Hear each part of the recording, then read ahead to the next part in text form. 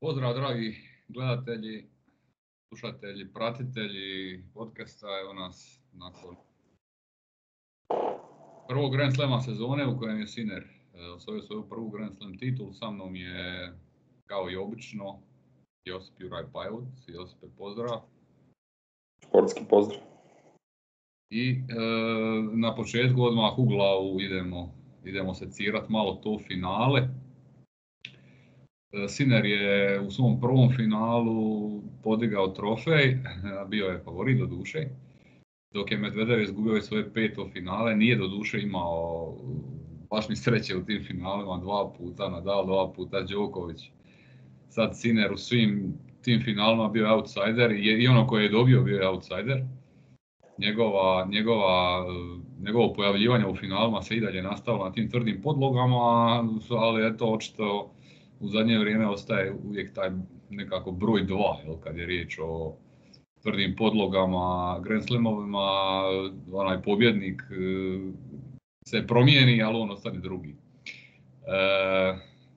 za početak, evo, malo prokomentiraj to finale, sad je svježe još, e, koji su bili ključni faktor Sinor, Sinore pobjede, kako je uspio okrenuti, što je Medo možda mogao drugačije napraviti da to privede kraju, koliko je uopće mogao napraviti nakon Sinera, šta je se podigao i tako.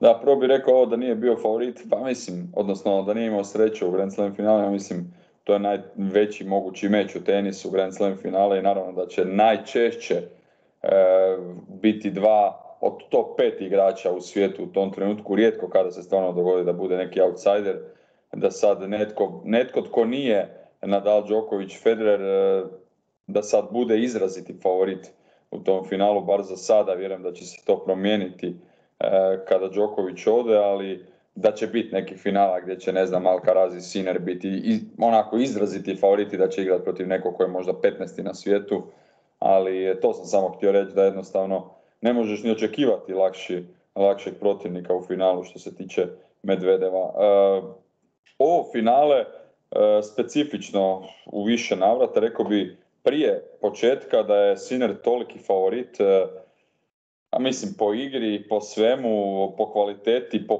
vremenu provedenom na terenu na Australijan Openu očekivano da će biti favorit, ali ja sam mislio da će ipak biti malo manji po kladionicama jer ipak tu se nije ukalkuliralo to iskustvo Medvedeva, već šesto Grand Slam finale na betonu, e, Sinerovo prvo, e, i to se vidjelo, to se vidjelo na početku, malo nervoze sa, sa Sinerove strane, baš sam pričao i sa kolegom Stojanovićem sa sport kluba, jedan od najiskusnijih, kaže malo nervoze, vidjelo se, radili su živci, Medo igrao nestvarno dobro, e, agresivan na svakoj lopti, uopće se nije vidjelo da je proveo milion sati na terenu i stvarno ja sam mislio nakon seti pol da nema šanse da on toliko spusti taj nivo da ga Sinner okrene.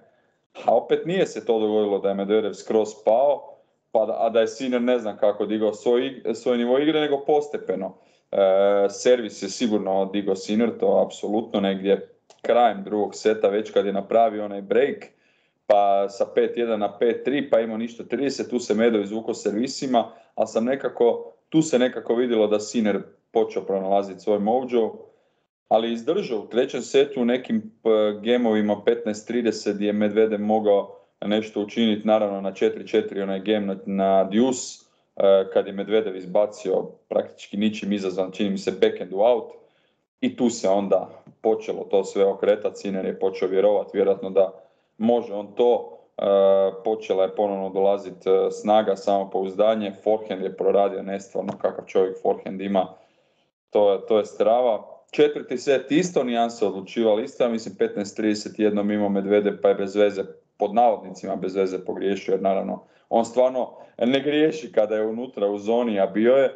E, i jednom na 30 oba, jednom na djusu, ja mislim, i nekako je uspio to Sinner iskoristiti na onom gemu kada je Sinner napravio break za osvajanje četvrtog seta isto.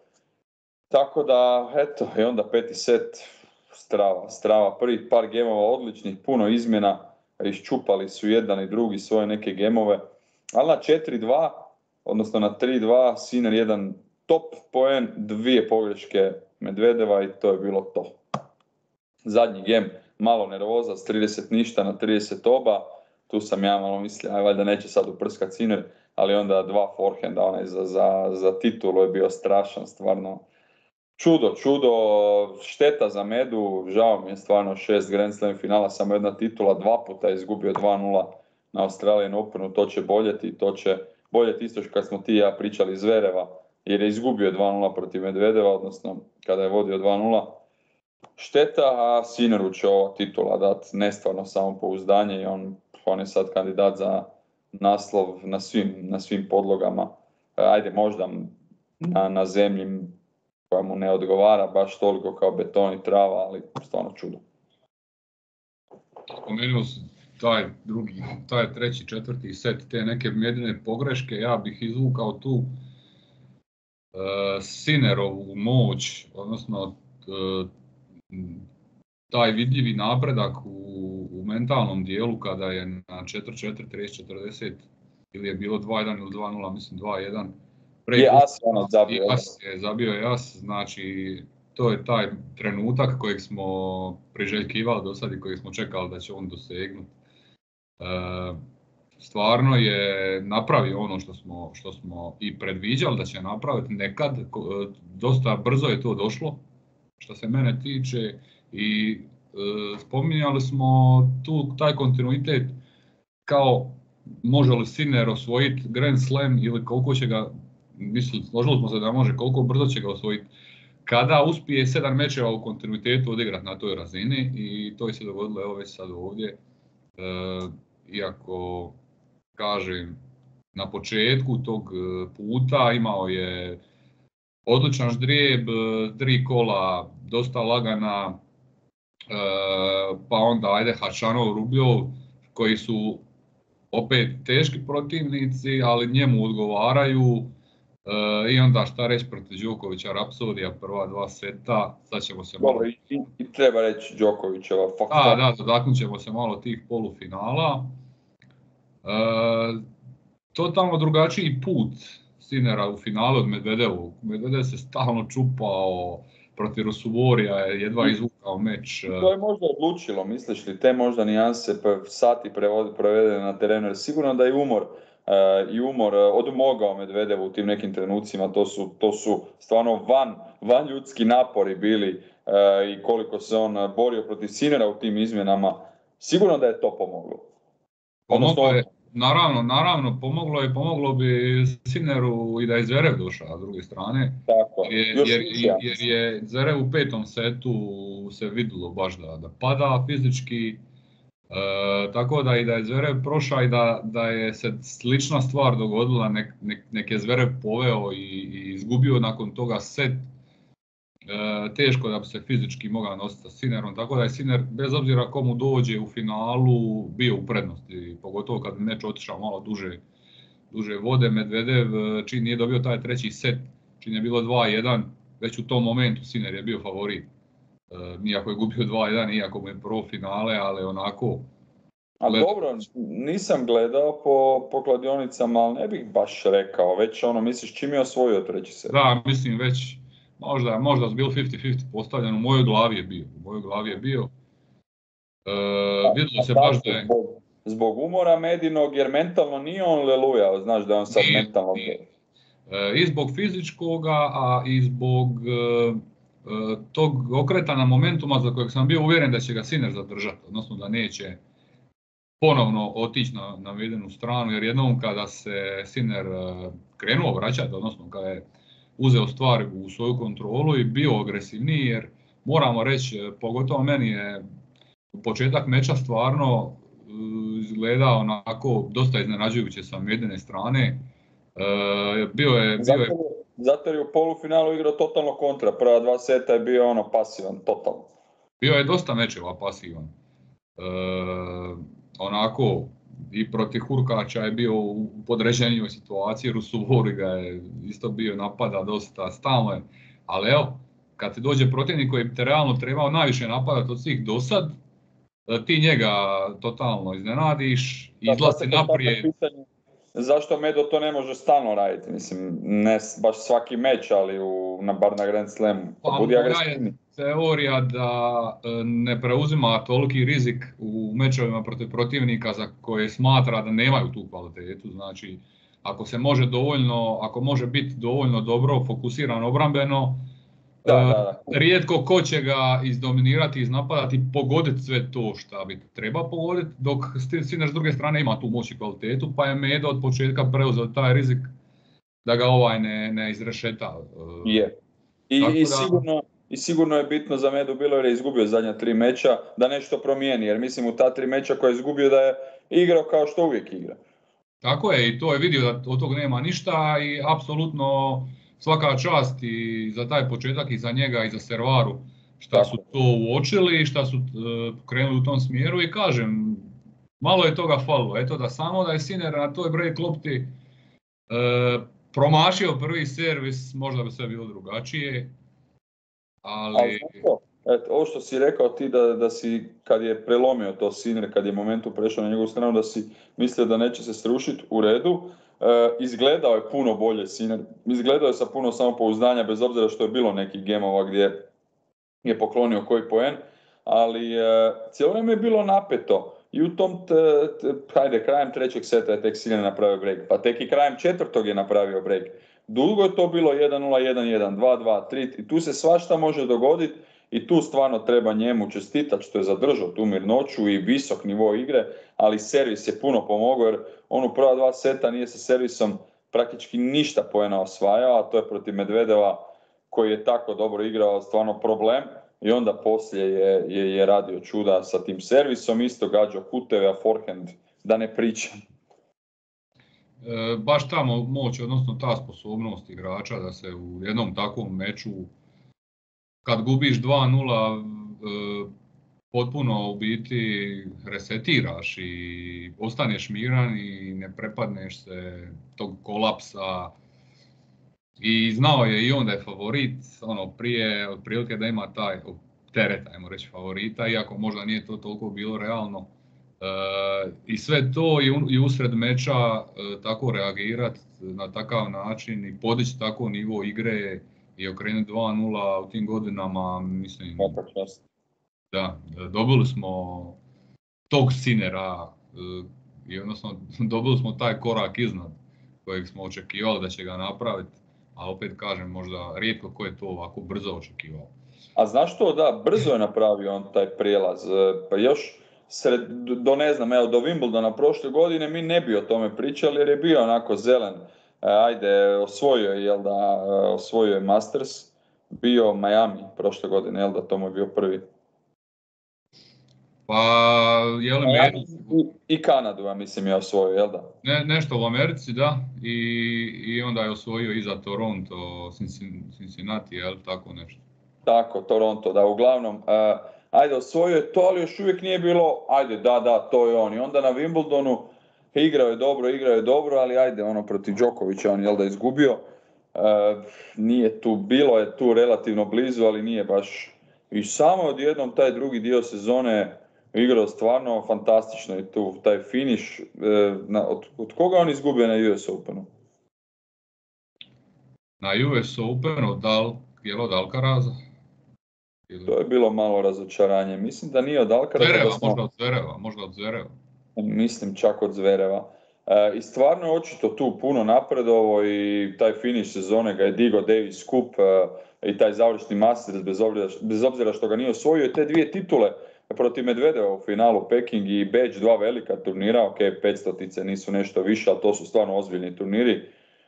Stvarno je kliknulo sve, ali mislim da je u finalu pomoglo dosta taj put, on je igrao 6 sati manje, bio je svježi jer znaš da smo puno pričali o Sineru i o toj njegovoj nekakvoj fizičkoj fragilnosti, bez obzira što on puno radi na tome, što i sam kaže u teretani, što je posto snažniji, posto izdržljiviji, e, ali to je pomoglo jer da je obrnuta situacija bila e, da je ova igrao toliko, ovaj toliko, nema šanse da, da bi ono krenuo 2-0, mislim da se tu slažemo.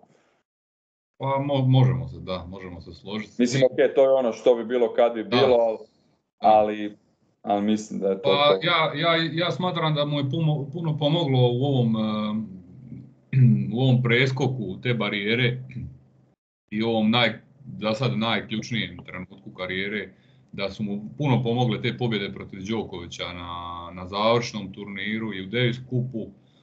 E, I iako na tom završnom turniru je odigrao tako, odnosno nije taktizirao i, i pobjedio je i na kraju mu se to osvijetilo, nije gledao to na taj način, aha treba sam pustiti, već je to... Možda širu sliku je gledao. Da, gledao je širu sliku, ono, mogu ga dobit, e, nema veze što sam sad izgubio, sljedeći meč ću dobit. I sa tim mindsetom je i ušao ovaj turnir i jednostavno na taj način se, se osvajaju titule. A i znaš ovo što si rekao, na, e, mečevi protiv Đokovića, ali moram opet reći mečevi protiv Medvedeva jer je on krenuo sa 0-6 protiv Medvedeva i puno se i puno se pričalo o tome da on ne može protiv takvog igrača jer ovaj sve vraća s osnovne, a Siner jednostavno ne izlazi previše na mrežu, ali tu je pronašao neku, neku ideju, počeo je naravno više e, izlaziti naprijed, drugačiji servirati, e, stvarno više varijacije u igri i te, te tri pobjede za redom, dva finala i završni Masters nad Medvedevom, siguran sam da, e, siguran sam da mu je to dosta pomoglo. I uspio je izbrusiti te neke stvari koje nije imao prije kao E, početnik, odnosno tek kao, kao neiskusni igrač e, u situacijama kada je Medo e, bio fizički podređen, dosta onako, rekao bih, tamo polovicom četvrtog seta, svaku dužu izmjenu bi uglavnom Siner dobivao, znači nije žurio, nije srljao, nije pošto po to htio zabiti, već je, ako treba odigrao izmjenu su 20-30 udaraca i tek u pravom trenutku bi završio pojen ili bi Medo, ili bi Medo falio. Znači, i taj dio, zrelost, taj igračka inteligencija koju je stekao u ovom periodu da, da igra pametnije i strpljivije, e, to je isto dosta, e, dosta presudilo što se... A i fizički taj dio, jer se on nije boja ući u te duge izmjene s Medvedevim, zna da je Medvedev valjda najbolji igrač u svijetu što se tiče izdržavanja tih izmjena, ali nije se bojao jer vjeruje u svoju fizičku snagu, a to što si rekao naravno i mentalni dio i to da ne srlja u pojene, da ne zabija forkende i backende u mrežu ili 3 metra out odmah. Stvarno svaka čast.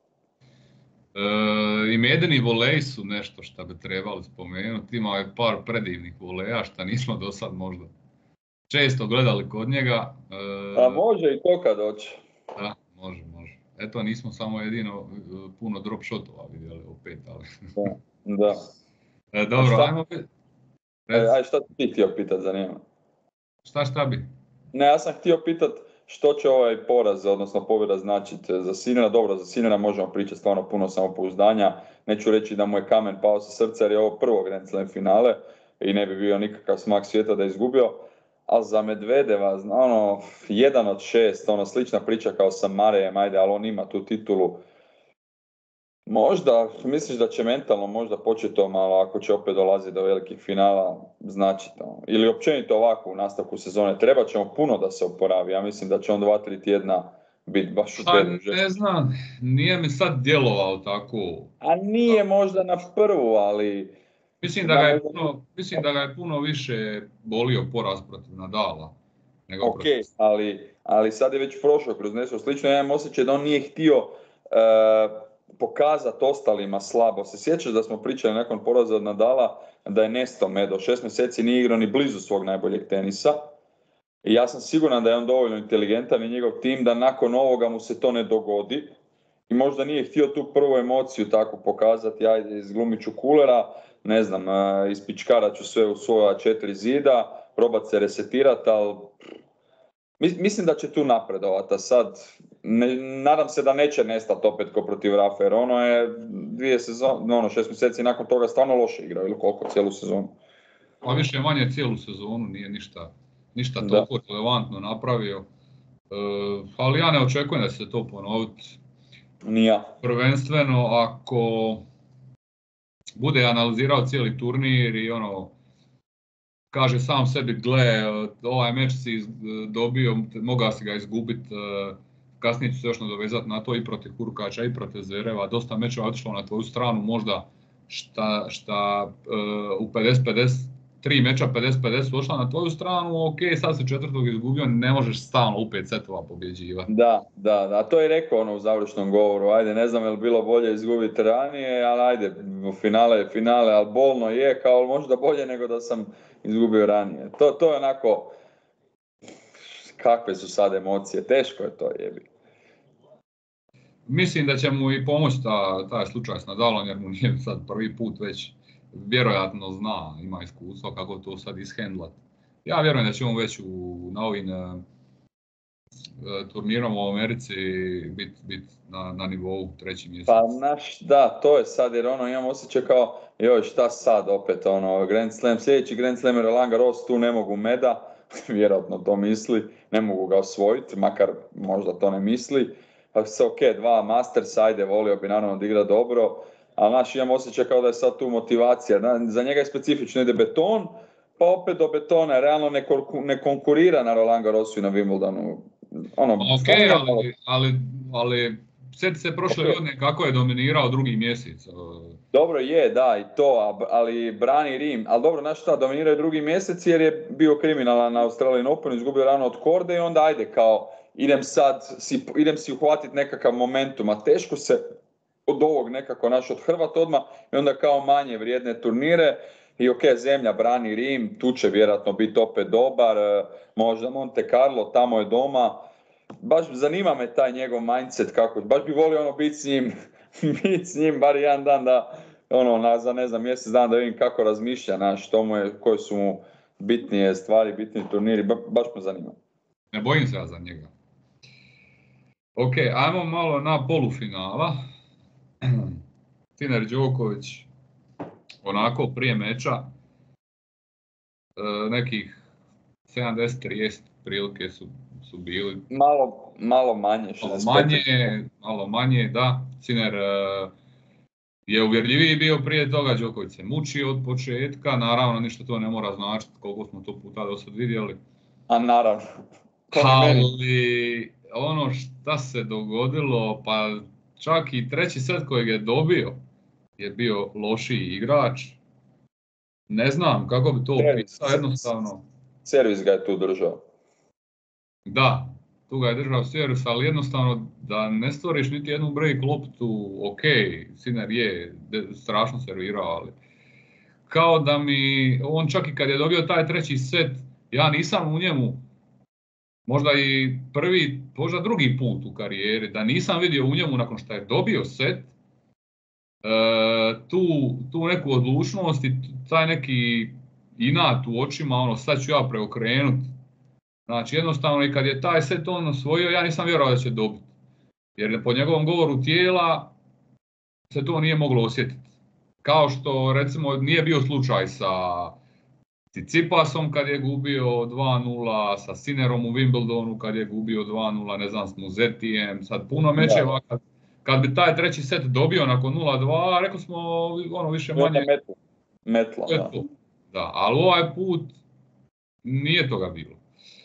Znaš tako, Đokovića je teško uopće prognozirati nešto u tim velikim mečevima, jer sad je sve, ok, nije on igrao svoj najbolji tenis do polufinala, ali u redu, ajde, ništa sad nije bilo očito zna, znaka ozljedi, rekli, rekli bi odigrat će dobro, ali stvarno se nije moglo očekivati da će odigrat ovako, ovako loše, prva dva seta, ajde onda se malo digo. E, isto kako ja kad sam nadobudno prognozirao da će Medvedev uzeti e, US Open kad su igrali finale ti ja kad smo pričali, nisam mogao očekivati da će Djokovic onako dobro igrati. To su stvarno dvije dva različita Đokovića, ok, tu je možda riječ o godinama, ali nije bilo fizičkih problema, jednostavno možda je sve teže očito držati taj nivo u igri sa tim godinama, pa možda sitnice te muče, oscilacije, malo ozljeda, jedna protivnik e, te ono napada, e, izgubio si od njega par puta, teško je to detektirati, ne znam šta ti misliš, ono, za, zašto je to, to jednostavno, on misli, to je sport, čovjek je. Ono.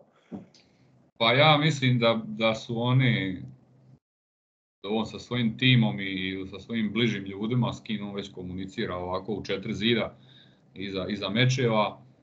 E, proveli, proveli dosta vremena pokušavajući odgovoriti što se tu dogodilo i, i što je krenulo po zlu i zašto je to tako izgledalo. Mislim da to nije toliko jednostavan odgovor. ni za njih bio, a, a kao Je. nas... Pa ono, jer je nas naviko da se to ne događa, ono, stvarno rijet- rijetko, rijetko, rijetko, rijetko, a jebi ga, on je čovjek isto, očito, nije robot. I možda i zakon velikih brojeva u pitanju.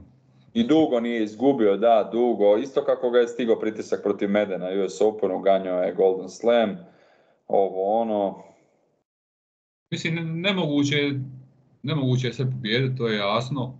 Kad tad se nešto, neki takav meč mora dogoditi. Meni je žao jedino što on nije bio na razini da gledamo kompetitivniji meč. Jer Siner da. je bio i Siner je baš ušao u meč spreman da se dobro Da. e, oznoji, odnosno da se dobro potuče i on je možda bio na početku malo iznenađen tim, tim nižim levelom Đokovića, ali ni u jednom trenutku nije posustao da, da se opusti. Znači, je taj izgubio je taj set ok, ali ta, to je taj njegov mindset i taj, taj e, napredak. Ok, izgubio sam, ali dobit ću ga. Mislim, ovaj set sam izgubio slučajno, ima sam meč loptu, ok, mogao sam možda i dobiti taj, ali imam još prednost od 2-1 i samo mora nastaviti ovako igrati i dobit ću ga. To je bio, Slažem vjerojatno bilo njegovo razmišljanje. Dakle, i treba dati kredit tu Sineru za dovršavanje posla, jer bez obzira na tog Đokovića, samo da je Siner pao malo i da je slučajno izgubio servis na početku četvrtog, ko zna šta bi bilo. Da, na iskustvo, na već to sve viđeno, tako da. E, što se tiče drugog polufinala Zvereva i Medvedeva, e, bjesomučno, bjesomučno je bilo e, u nekim trenucima zabavno, u nekim trenucima naporno, u nekim trenucima e, je čak bilo i atraktivno, dramatično. ali- Nije bilo previše koškanja, jedino ono krajem, kad je ono krajem četvrtog, jel da, malo. Da, nije bilo drame što se tiče reakcija i svađe i toga. Ali... Ali ja moram jednostavno apostrofirati taj trenutak, trenutak e, koji je obilježio za mene cijeli turnir, potez turnira, slučajan, namjeran, kako god. Ona je reter na 5-5, šta je ono pobogu bilo? E, samo kratka digresija, sad sam igrao ligu neki dan protiv ono, stvarno isto dobar igrač, jedva na kraju dobio u taj breaku trećeg e, i čovjek mi jedno 2-3, 2-3 return winera, drop shot zabio, a ono druga serva mi je loša, znači nije bila takva bomba, ali me, ali me podsjetilo na to. Ja rekao daj ne, ali dobro dobio sam na kraju pa nije, ali znaš ono odserviram i fra samo drop shot lopta nestane, ja rekao. Ali to, to, to je ta priča. A šta je najjače, ono, 99% to Medo nije htio, znamo njega. To A i priznao. To nije njegov udarac, da je Alcaraz to izveo, ajde, rekli bi ok, ima u, u svom repertoaru on tu, tu opciju, ali kod Ili, ili, ili Roger. Na Da, da gleda Zverev, gleda i ne vjeruje. ono. Šok i vjeverica. Ja sam po pokretu reketa mislio ovo ide na osnovnu. Osnovnu. A znaš što, poen prije toga 5-4 je Zverev u dva udarca bio malo pasivan. Je, je, Medvedev je izašao naprijed. Da. Da, i Medo odigrao ono inside out forehand top. Stvarno, tu, tu je pokazao hrabrost.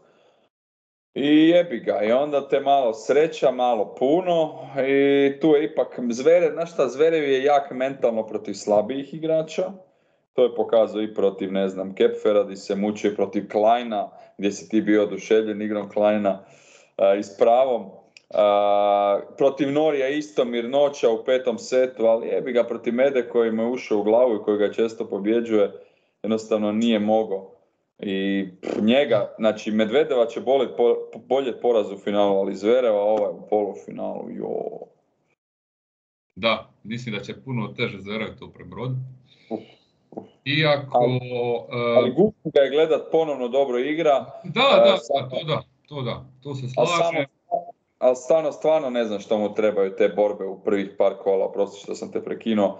E, to, to je stalno, pa, pa daj ne kreni u svaki meč ozbiljno, još igraš top početak sezone, osvojio si United Cup, ono, ok, izgubio od koga, od Eminora, ali ostalo sve riješio, s puno samopouzdanja, dobro se osjeća, zdravije, jebote, ti se mučiš sa Kepferom, sa Kleinom, sa Norijem u pet setova koji nije ni blizu onog svog najboljeg Norija, znači Zverev, pravi Zverev to 3-0 mora riješiti, ajde možda 3-1. Uh, kog ja ke lagano, Mikkelsena dobio još se poprotiv Čekaj, ovo samo da te prekinem. koji je to najbolji Nori? A je, znaš kakav, onaj naporni pauk koji sve vraća, malo griješi, ali u ovom meču nije bilo tako, nego Zverev je opet bio ono van nekog svog to me čudi. To ga je koštalo sigurno, isto kako je Medu koštalo u finalu, mislim da je to njega koštalo u polufinalu. Je. Ne znam se slažeš. ne u potpunosti, meni smeta malo na što je nakon meča suptilno okrivio e, svoj umor za poraz. Da, da, da. E, je, ok, pas. I bolest nekakva, pa rekao je da Da, ono, s obzirom i na svoju situaciju i na diabetes i ne idu mu u prilog ti dugi mečevi, tih nekoliko je baš izvukao, to je za, u sportskom smislu baš e, za pohvalu. Ali daj, daj na toj preskonferenciji reci ono, pogriješio sam, tad i tad i osim fizičkog dijela koji sam očito jeli, e, osjetio da, da, da sam umoran, da padam, to se nadovezalo i na ostale dijelove. Nije te samo fizički dio koštao poraza. Znači ja sam ovdje e, izvukao peti set kada je Zvera izgubio svoj servis. E, forehand s pola terena u mrežu. Tu ti umor nije presudio. Forehand s osnovne u out, čisti volej je ima u out. Forehand se terena... Na, na 15.30, jel da, kada je izgubio servis, pa se vratio na deuce. Tako onda je, i onda je opet e, nešto Medo dobro odigra i za break forehand opet ima forehand iz terena, metar unutra koji ide u mrežu. Dakle, taj game si bacio, ono, ne možeš tu okriviti fizički. Slažem se. I je, je, tu je mentalno. Da, malo budi samokritičan, jer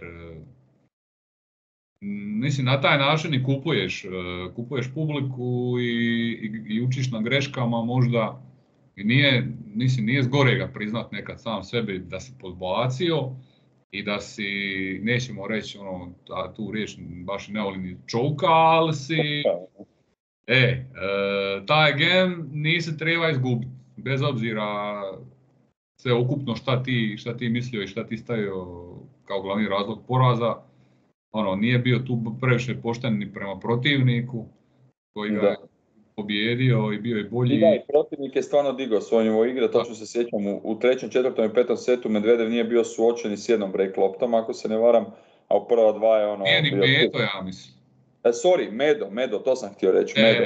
A u prva dva seta je bio cirkus na njegovom servisu, ono, tu, tako da se tu naštimo, isto kako se nekad Đoković zna naštimat, da, žao mi je zbog Zvereva, baš nekako podijeljene. Mi ono kad sam gledao taj meč kad je vodio Zverev, onda si razmišljam si koji igrač ima bolju karijeru do sada. I onako si gledam, pa dobro, moglo bi biti to tu negdje, onda skužim, pa Medo igrao pet Grand Slam finala, ima Grand Slam naslov, ovo je jedan igrao, ok, bio je blizu naslova, ima olimpijsko zlato, ajde svaka čast.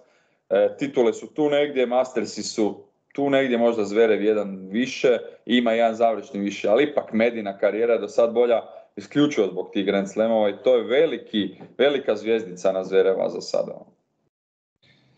Ja mu zamjerim najviše šta je, šta je toliko e, paradoksalan. Znači, ti igraš u meču protiv Klajana 5 setova iscrpiš se. Igraš protiv Kepfera 4 seta tjesna, iscrpiš se. Igraš protiv Norija 5 setova, iscrpiš se. Igraš protiv Medije 5 setova, naravno, onda, onda nakon svega toga morate doći do izražaja i taj umor kojeg sam spomenuo, ali ti protiv Alkara se odigra svoj najbolji meč u, u turniru i, i tvoja igra je bila znatno ofanzivnija i bolja nego protiv bilo kojeg drugog igrača. Da. Daj, ne znam. Ono. Zašto ne igra on tako češće? To, to me točno to, točno to, on je sad već preiskusan igrač, već 7-8 godina je čovjek ono u top 10-15 na turu, e, da ti se dogode, to sam ono spomenuo prije ne znam 10 minuta, pa ne možeš protiv Kleina, Norija, e, Kepfera, a u dobroj si formi, u dobrom si momentumu, zdrav si s početka sezone, osvojio si taj kurac United Cup, Ma mislim, ono, to je neozbiljno, do kraja karijere će to raditi, onda će uzeti možda jedan Grand Slam, ne znam, dva maksimalno do, to što ti kažeš, ne smije to raditi, je. mislim ne smije, ono, ako hoćeš biti Grand Slam pobjednik više struki, a mislim da se i ti ja slažemo da bi Zverev to trebao biti, sad opet je što bi bilo kad bi bilo, ali nešto ga, nešto ga jebe, ne znam. Pa eto, mislim, taj, taj paradoks sam ja spomenuo, on je stvarno neke mečeve na dva dobivena odigra majstralno. E, taj servis isto na 90%, mislim. Servis, ono, pičku, to, to je najbolji, on je najbolji server svijeta daleko kad je to tak ide s obzirom na kombinaciju ubača prvog servisa i kvalitete, to je ono. Da, da.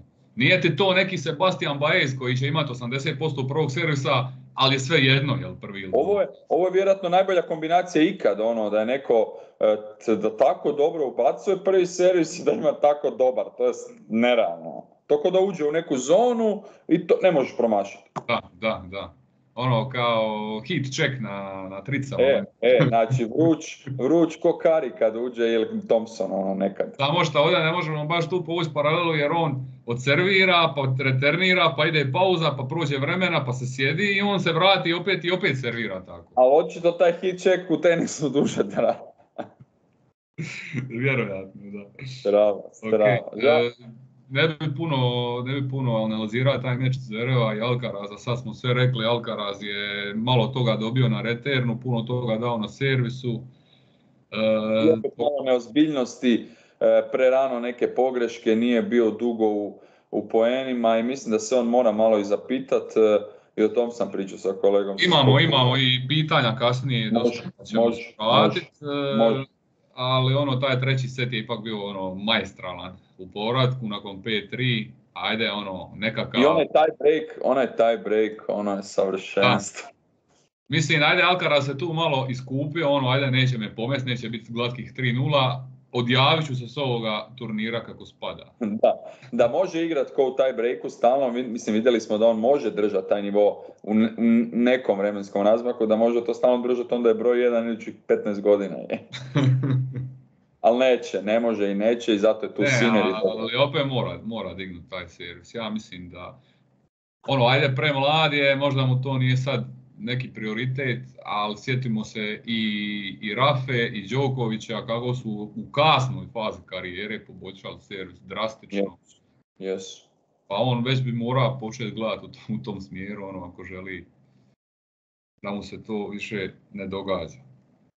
Uh, ok, ajmo ajmo malo proći naše prognoze prije. Gledatelji možda e, ovi koji sad gledaju nisu gledali neki uvod. Pa onako, nismo bili toliko loši. E, naravno, kraj e, turnira smo pogriješili što je dosta ljudi. Ali, evo, ti si imao 6 od 8 četvrt finala, ja sam imao 5 od 8, ali sam imao 3 od 4 polufinalista, ti 2, E, oba smo pogriješili Deminora, šta je realno ono bilo, ajde pet setova pa malo to. E, Dimitrov nas je totalno navukao. Topo nas je Griša, stvarno smo naivni, a čim, čim smo to prognozirali, čim smo završili taj uvod, ja si govorim pa nemoj glupane medu otisivat, nemoj, nemoj Dimitrovu davati toliko na važnosti. E, ako sam ja ispana Ivan, i ako ja moram ok, uzeti Dimitrova radi, radi to, to, zašto ti to radiš? Ne, ali ja, mene zna više srce povući ili neki moment, ti si tu inače ono više stabilni, tako da kad si ti to rekao, onda mislim da je on to rekao, pa valjda, pa valjda može Griša stristi nekom, valjda ima čovjek izgubio od koga, od Boržeša, Boržeš. Ok, ali nije mi žao e, tog promašaja uopće. Žao mi je, žao mi je, žao mi je Rune što sam njega uzeo jer je čovjek uh, uvijek hodajuće razočaranje. Uh, onima koji vjeruju, a meni je jednostavno očekivano da on, ono, da on rano završi turnir, tako da uzeo sam ga tu zbog ždrijeva, ali on je opet uspio ispast Pomozi mi, od koga? Od doktora Kazoa, dobro Kazoa. Od Kazoa, da, od Kazoa, ajde, po, Kazovu se, na, ono, po, nisam mogao ni, ni u snu očekivati tu razinu, kada je krenulo. Razina strašna. Da, ok. E, tri, ajde, tri moja hot take, onako što nisu bili favoriti za proć. su da uh, Rud ne dolazi do Zvereva, odnosno da ispada prva tri kola. Bravo. Da Muzeti ispada u prva dva kola i da Zverev dobiva Alcaraza. Ajde, tu, to sam pogodio, iako me stvarno... Dobri, dobri, dobri hot take-ovi. Iako je bilo i eto, tih nekih kikseva. E, trivija. Triviju nisam toliko kopa po statistici, zato što je u ovom, generalno u ovom turniru, zato što je bilo dosta onako all time zanimljivih činjenica vezanih generalno za, za, za Grand Slamove, ne samo za ovaj turnir, pa sam samo izvuka najbrži servis ubačen e, od Žižena Žanga koji je 235 km na sat, malo neočekivano možda završio na prvom mjestu po brzini najveći postotak prvog servisa uh, ipak je Eubanks sa 78%, ali na uzorku od samo dva meča, dok je Zverev uh, na šest mečeva uspio zadržati 76%. To je stvarno, stvarno. Pameti je. Uh, ajmo sad na ti, na ti neke... Ja, samo da kažem prije nego što kreneš, moj hot take da će sa Fiulin, da je Dark Horse super se obistinilo. Je, je, je, je, i sa Fiulin isto je odigra super. super.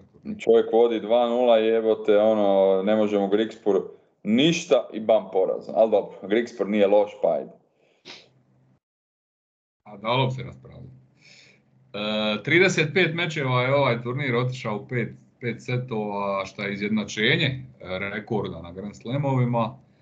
Čak je bilo pitanje šta mislimo koliko će mečeva otići u 4+, plus od nekog... Da, to smo rekli koliko negdje, 60, šta ti, smo rekli? Ti, pa ti si čak bio blizu, ti si rekao 60 i nešto, ja sam bio manje, ja sam rekao 50. A na kraju ih je bilo, ja mislim, skoro 80 da je išlo u, yeah. u 4 plus, znači 3-0 su završili, ono, trećina mečeva je završila 3-0. Pogotovo u prvim kolima i to ne samo ovi koji su Al Pari, nego i ovi da, da. Svi su gubili setove, ono. Da, da. E, ono što smo već bili spominjali, ne znam, sam to malo prespomenuo, ali sam spomenuo bio u objavi. Znači, Medo je izgubio više poena od protivnika i u četvrtfinalu i u polufinalu, dakle i od Kurkača i od Zvereva, na kraju dobio oba meča. E, zadnji igrač prije Sinera koji je dobio Novaka na Australiji, to nije toliko nepoznato, to je Chung. Chung, da. Ali ja tebe pitam, hoćeš se sjetiti zadnji igrač prije Sinera koji je dobio Novaka na Australiji, a da nije nosio naočale. Da, da je Chung isto, mi nije isto nosio naočale, jel da? Da. I onda, Sa, ne, ne, Safin je predaleko. Uh, ne, nemam pojma. 2013. stani malo, stani malo. A joj jebote, 2013. stanim, ali da, os, osmina finala. Da, ono, bio je prije toga meč onaj kad ga je izgubio u petom setu. Tako je. Tako 9-7, ga... tako nešto i onda je iza tog dobio. Sjećam se, tad sam pisao i status na Face, stan, doktore, i onda je, i onda je osvojio. 2014. je osvojio do duše, ali... 2014. bravo. E, dva puta u povijesti, Australian Open finala, igrač je propustio 2-0. Sada Medvedev i... To je bilo u finalu, mislim da je ovaj komentator pitao Kiriosa. Mislim da ga je to pitao, nisam siguran. I ne znam, ne znam. Ajde, daću ti još 10 sekundi da se sjetiš ko je još... A, a jel, jel nedavno, ili? Da, dosta nedavno. Uh, moram izvrtit, moram izvrtit, uh, na domu, Federer. Uh, Mare nije, jel Mare pet puta je gubio finale, nije mislim Mare, ne mogu, ne mogu pod pritiskom. Pa Medvedev. pa ne, pa Medvedev, Medvedev protiv Nadala, to. Aha, mislio sam još dva puta. Oprosti. Dva puta u povijesti svih finala Australije propušteno 2-0. Ne, ne, ne, ja sam mislio još dva puta, sorry Krim, znam Medvede protiv Rafe, ma dobro to. Mislio sam da je još neko, sorry. Oba puta, oba puta mi ide. Uh, usto je 52 uh, imao omjer nakon, e, nakon dobivenog prvog seta na tvrdim podlogama na Grand Slamu i ta dva poraza finala. E, Rubljev, prvi igrač u Open Eri s 10 četvrt finala, a da nije prošao u hoćemo, li, hoćemo li minutu šutnje za Rubija? Ne, ne znam šta reći, opet No ne, ne. A, volio bi sam da mu jednom dođe u četvrtfinalu neko lakše, ovo što si ti rekao da Medvedevu dolaze teški protivnici. Stvarno je uvijek u četvrtfinalu ima ona, ono, pa daj da mu se jednom otvori, da mu dođe Hurkač, ono, da mu dođe Nori, da mu neko, šta znamo. Jednom će se otvoriti, valjda. Sad je pitanje hoće li on to iskoristiti. A znaš šta, Rubi je zdrav, ono, nema ozljeda, nadam se da će tako ostati, stalno igra, a mora, ovo što si ti rekao sa Novakom, zakon velikih brojeva. Da, ali sad se, dok mi je to još na pameti da ne zaboravim kasnije, sad se nekako savršeno formirala ova ATP ljestvica. Znači imamo na vrhu Đokovića, Siner Alcaraza i, i Medvedeva, šta su realno daleko četiri najbolja igrača, najkonstantnija i uvijek ih očekujemo u završnicama slemova. Pa imamo dvojicu koja su e, ispod njih, a bolji od svih ostalih, to su Zverev i Rubljov, dobro, ja bi ipak Zvereva ispred Rubljova, svaka čast Rubljova, ali to ćeš i ti reći, da ipak on i bolj, i trenutno i uvijek bi stavio. Je, je, ali govorim ti onako po nekako formi rezultatima, Rubljov je stalno do te granice, dođe te četvrtfinala, uvijek je tu. To što... Znam, ali da se Zverev nije ozlijedio, onako Zverev bi bio top 3-4 cijelo vrijeme, sigurno i vjerojatno imao već Grand O tome, o tome ne, ja govorim trenutno, o tome ne, ne pričam. Dobro, istina, istina, dobro, ok. Slažeš se da je Zverev e, ispod ove četvorke, trenutno? Pa ipak je, da je dobio Medvedeva možda bi rekao ajde, kao opet je on se opet postavio, ali treba, treba sad titula, treba neki Masters, treba opet biti konkurentan za Grand Slam, pa ću onda reći da je, da je blizu.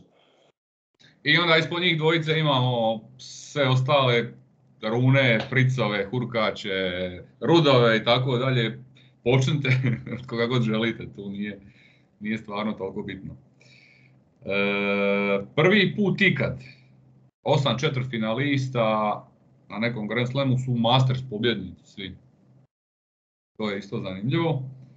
A zadnji Grand Slam sa četvrt finalom, šest nositelja, prvih šest nositelja da su bili u četvrt finalu, Roland Garros 2012. Tih prvih šest nositelja bili su Đoković, Nadal, Federer, Marej, Tsonga i Ferrer. Ostala dvojica, zanimljivo, baš kao i na ovom Australian Openu, bili su deveti i dvanaesti nositelj.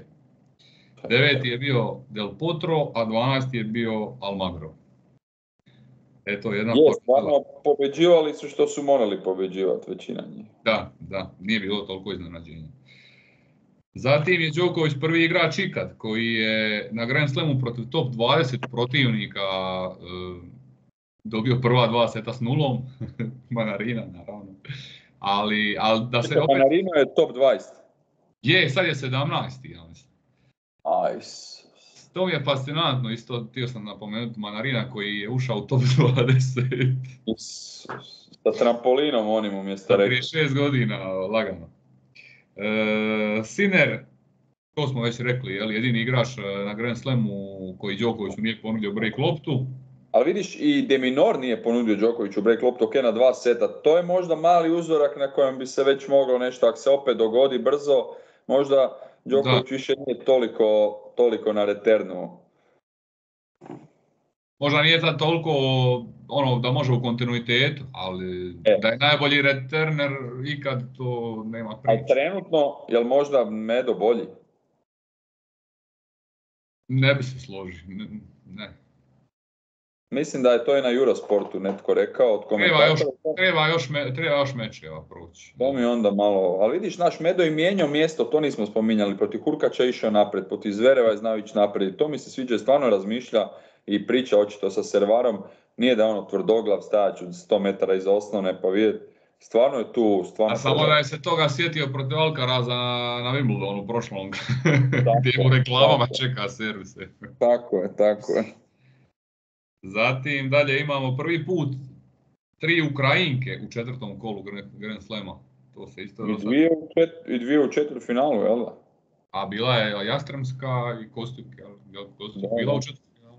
I to Kostjuk odigrala dobar meč sa Goff. Da, Kostjuk je ok bila, cijeli, cijeli turnir. Mene, mene, mene je Jastremska baš iznenadila, nisam to očekivao od nje. A, da, ona ima, ona je bila i 21. mislim na svijetu, ima kvalitetu, ima udarce i sve, ali njoj očito treba isto malo da se posloži, malo rezona u igri i nadam se da ovo samo neće biti e, one and done i onda će se opet vratiti na 79. mjesto jer je ona skočila, ne znam, 60 mjesta, tipa na neko 30. mjesto, tak nešto. Ali imala je suspenziju ono, zbog dopinga, pa i, to, to da, ali dobro, da, istina, i rat i sve sranje, dobro, dobro. Još je mlada. E, dalje, još jedan neslavan rekord. Zverev je jedini uspio ispustiti 2-0 u polufinalu i finalu Grand Slema, to smo isto do sad već apostrofirali bili. A Alcaraz je prvi put u karijeri za sad na ovom Grand Slamu igrao od mlađeg od sebe igrača, to je bio Juncheng Shang.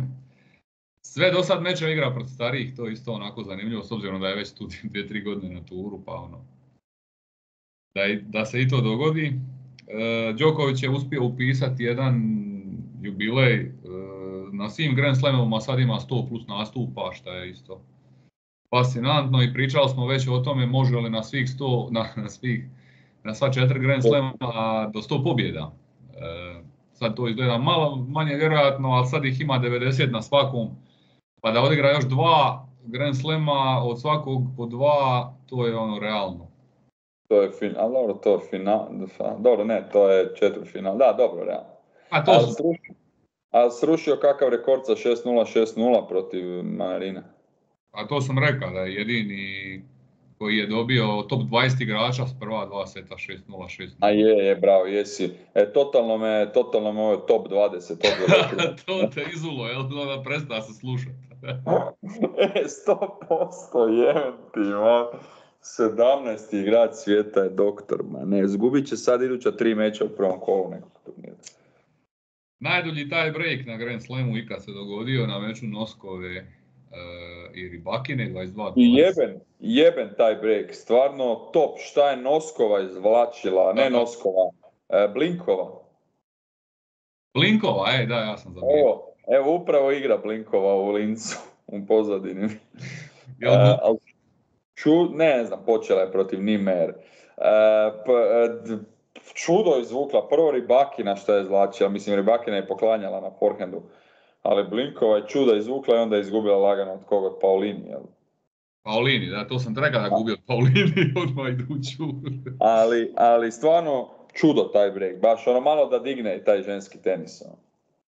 E, Noskova je izbacila Šontek, to sam zamijenio.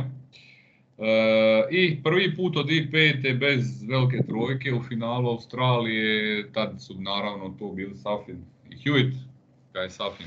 Nakon što je prvi set bio pijan, okrenuo 3-1.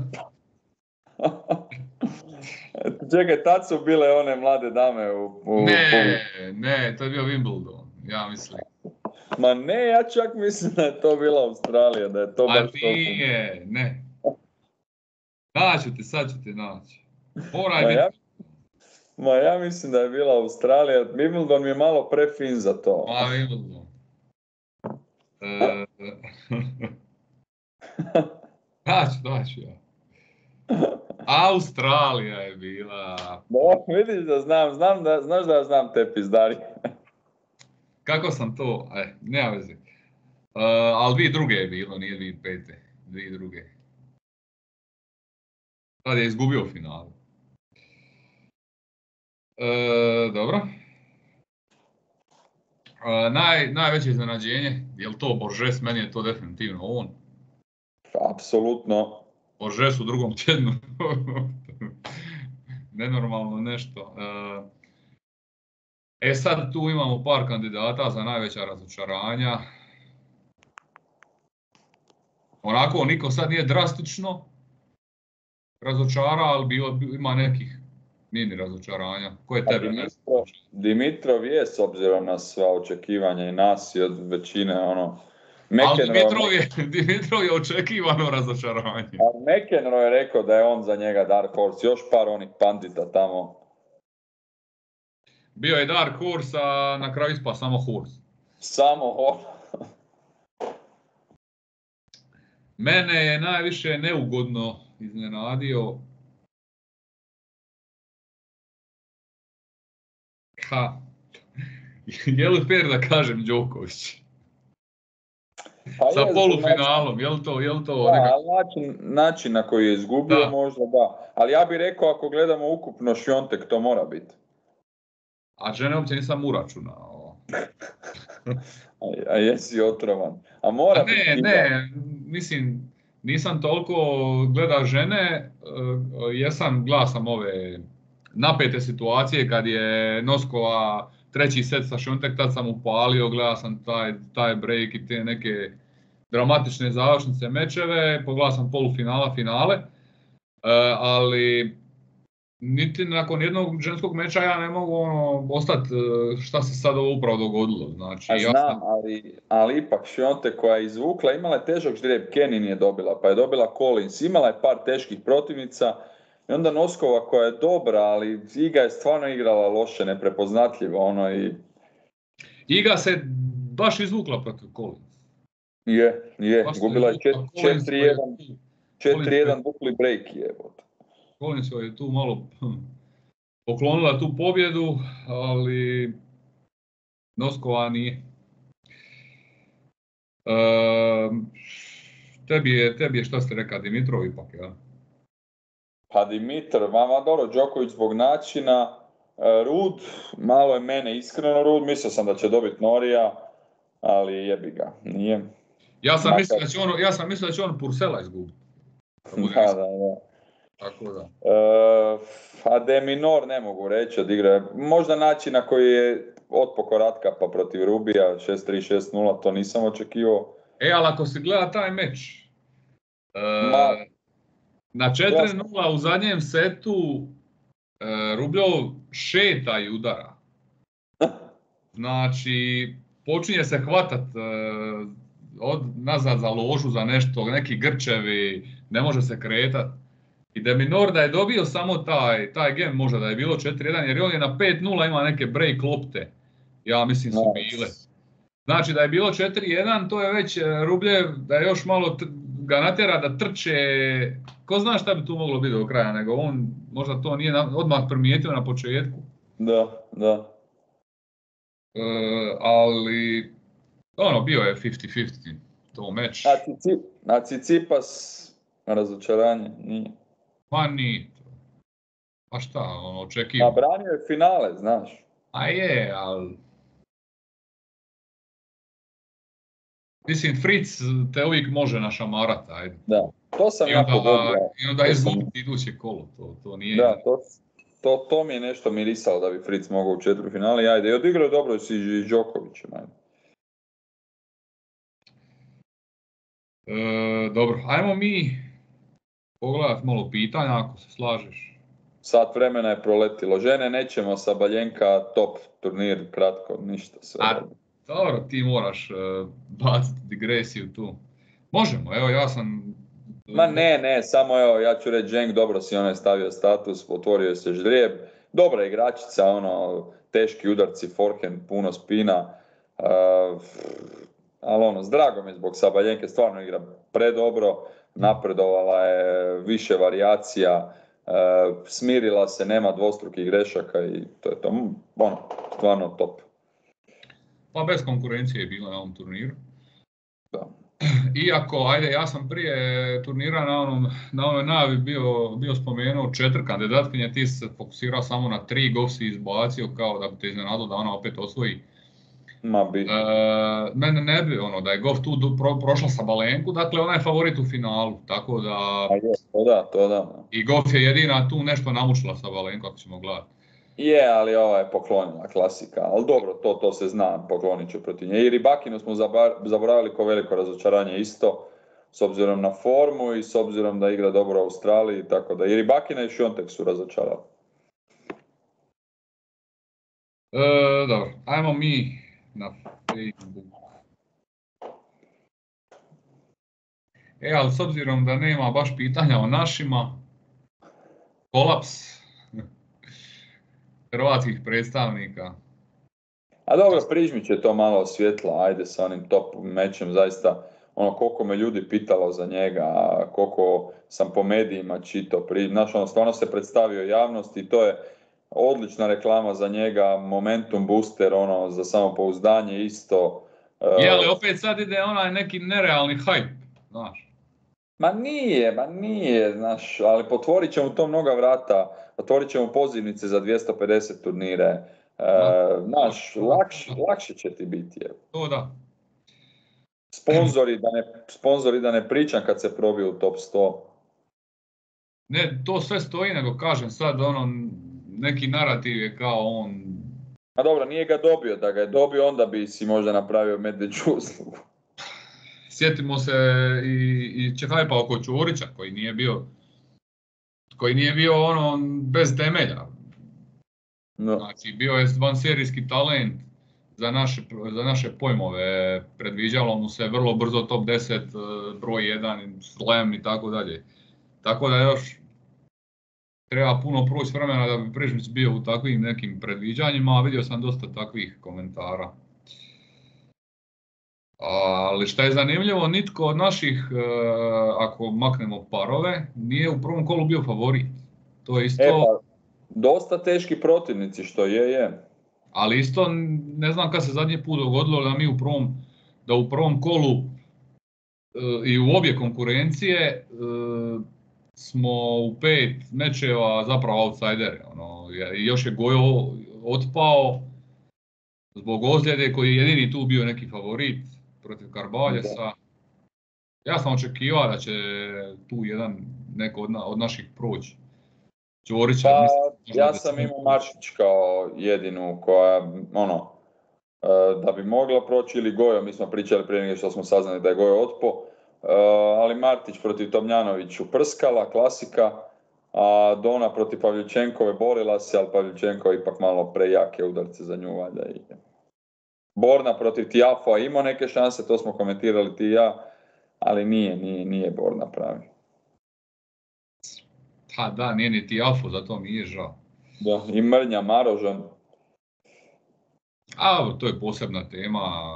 E Neće... Da, Tiafo, izgubio od Mahača, to je isto razočaranje. Ok, ti si, ti si dobro tu predvidio da nije u dobroj formi, ali pa baš nije to Pa ček, Mahač ti je igrač koji je u, u velikom usponu. Znači, on Ma je, znam, i top igra, ja sam ga prvi put ono protiv Novaka prošle sezone gledao di u Dubaju, gdje je osvojio set ili tako nešto.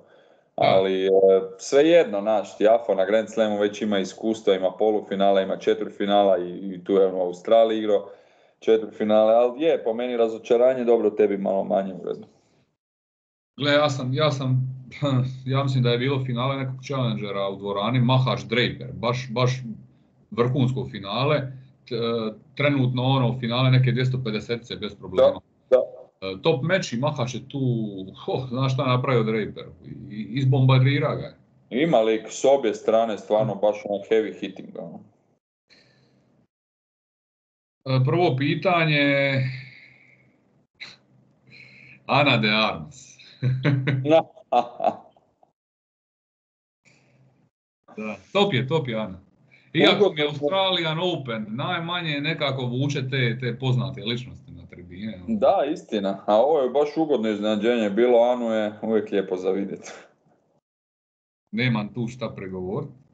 Ante Barišić pita kada točno predviđamo Rubljov ulazak u polufinale Grand Slema, ako uopće mislim da će ući.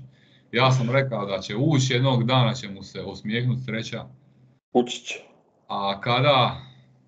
Ući će na Roland Garrosu odmah sad, evo. Oh.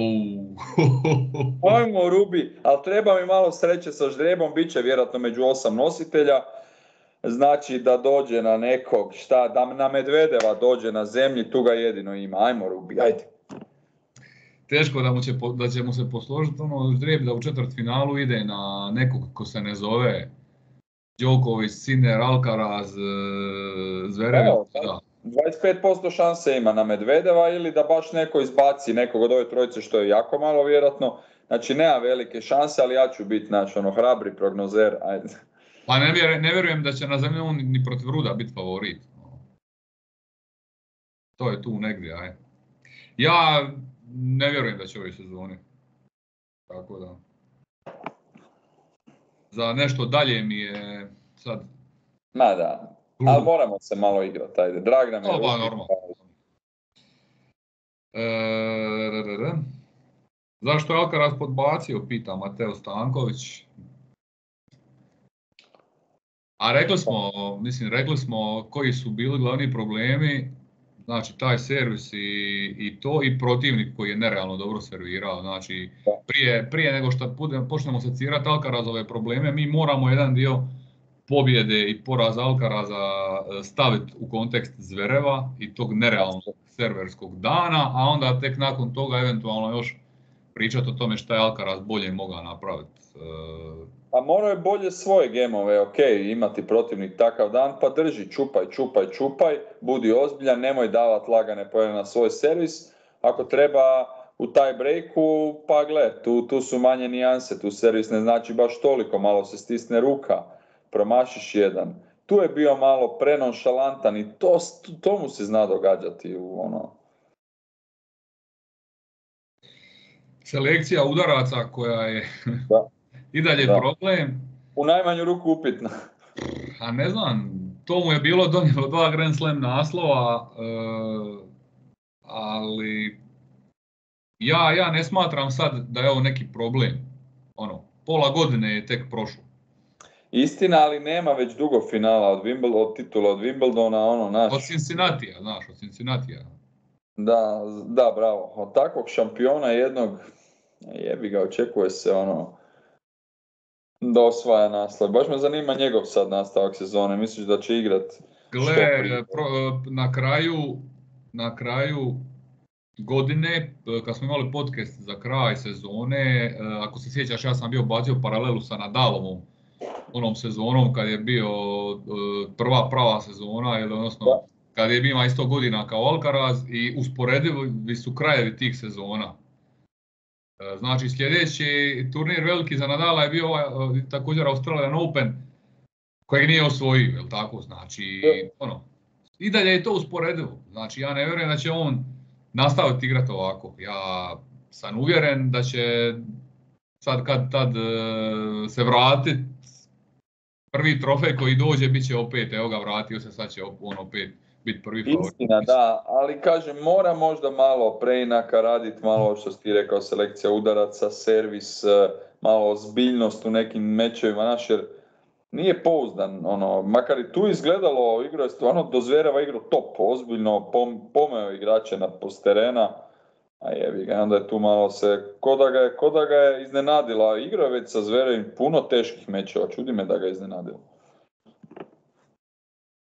Da li je Cicipas u mjesto u top 10? Pita Marko Marković. Već, već godinama unazad. Pa, trenutno kako igra nije, naravno, ali rekli smo da je šest, šest igrača stvarno jako dobrih. A ovo od sedmog do desetog će biti vjerojatno ono vjetrometri na idućih par godina. Pa nešto slično kao kod žena. Samo što tu imamo četiri. A, a...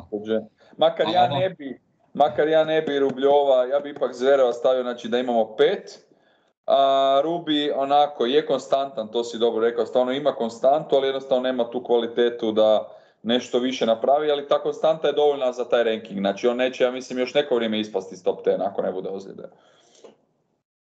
Jako teško da će on uh, ispod šestog mjesta ove sezone. Da, ima stvarno zalika Jer, jer na tim pestoticama će on dolaziti u finala, na Mastersima bi mogao nešto iskemijati, četvrt finale, polufinale. Još ono, ne znam, nek mu se jedan Masters otvori da ga, da ga uzme, znaš, to je suvereno, jer on, on a ne, čak... a, ne brani, a ne brani nigdje velik, znaš ono da je osvojio sad Grand Slam pa je tu 2000 bodova, ili da osvojio dva Mastersa za redom, nego sve je dobro kod njega raspodijeljeno, stvarno konstantu Rubi, ima dobru konstantu Rubi, ali to je sve što ima. I mislim da mu, je, da mu je sedmi, ko je sedmi Rune sad, jel? Udaljen da. 2000 bodova. Ono, možda da, on je par bodova ispred Zvereva, to sam vidio, 10-20 bodova. Tako da, da li je Tsitsipas u mjesto u top 10? On je, ja mislim, sad deseti, tamo na rupu. Ma ostaće, ja mislim da će ostati u top 10, bit će u top 10. da malo možda to pitanje promijenimo na način da li je mjesto Hurkaču, Runeu, Pricu, ono, svima je i svima nije, ne znam. A da, Hubi evo sad osmi, odigrao još jedan dobar turnir, meni se malo digao očima na United kupu, radio sam par mečeva. Uh, ako će postati agresivniji malo, a ne sad da vidim ono igra u Rotterdamu u drugom kolu protiv Grigspura i ono, forehand ide na, na, na ovu servis liniju. Ako to vidim, onda ću odustati od Hurke. Ha, s neutralnog nekog stajališta, ono, moramo reći da je kvalitetan i da ima i on kontinuitet i da pobjeđuje ono što mora pobjeđivati i da gubi ono što mora gubiti. Ali jednostavno je tip igrača koji, kojeg je teško voljeti, njegov stil i njegov tenis. Apsolutno, apsolutno. Marko Jukić pita, šta mislimo o povratku Nadala, kakve šanse mu dajemo na Roland Garros u olimpijskim igrama, on napominje e, da svi pričaju više o drugim igračima, sad smo im ja apostrofirali tih šest, pet, neko pet, neko šest. E, pitanje glasi hoće li još jednom ušutkati kritičare da on, ono što je vidio na povratku, smatra da je više nego dobro za nekog ko nije odigrao među godinu dana i dajem tebi prvu riječ s obzirom da je nadal pitanje. Je, odigrao je više nego dobro, slažem se. I mislim, ne mogu znati, da ova ozljeda nije bila nešto preozbiljna, ako se to uopće može tako nazvati, ozbiljna ili ne, nego je Nadal, to smo ti ja isto pričali, Nadal jednostavno je shvatio ne može osvojiti Australian Open, može proći dva, tri kola, vjerojatno bi onda morao predati ili usred meča ili nešto ovo ono. E, tako da, moja je rekao da će igrati Dohu i da hoće da igra jedan od, vjerojatno ako bude sve ok, da nisu htjeli odmah trenirati na zemlji, da onda ne bi brzo mijenjali podloge, znači trenira na betonu, Doha, vjerojatno Indian Wells, jer su mu tu draži i draži uvjeti, onda ako je sve ok, nadam se da će biti, to su meće na dva seta, lagano priprema za zemlju. A ponavljam, ako će biti zdrav, ako će biti na 90%, znači ne mora biti na 100%, mogu, može ga nešto malo mučiti, ali kod njega je problem kad ga je malo muči, odmah je to dosta veliki pad.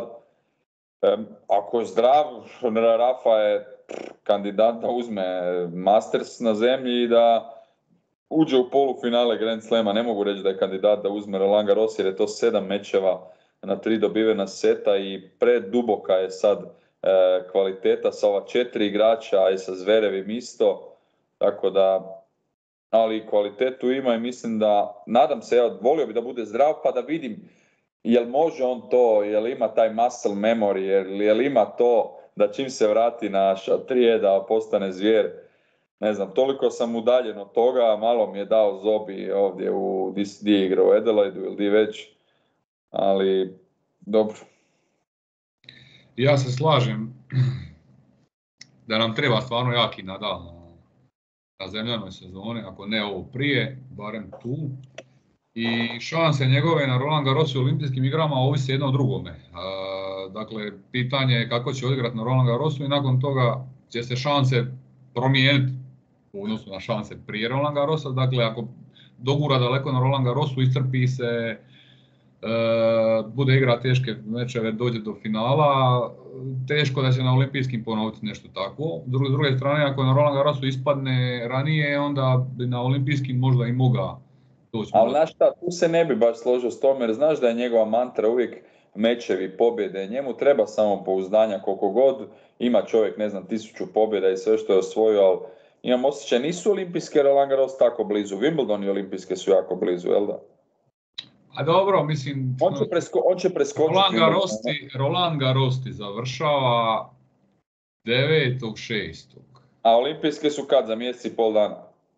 A ono, krajem jel krajem sedmog mjeseca budu. Pa dobro, ali evo, znači igraju se doslovno u istom gradu, na istoj podlozi, neće igrati. A slažem se, da.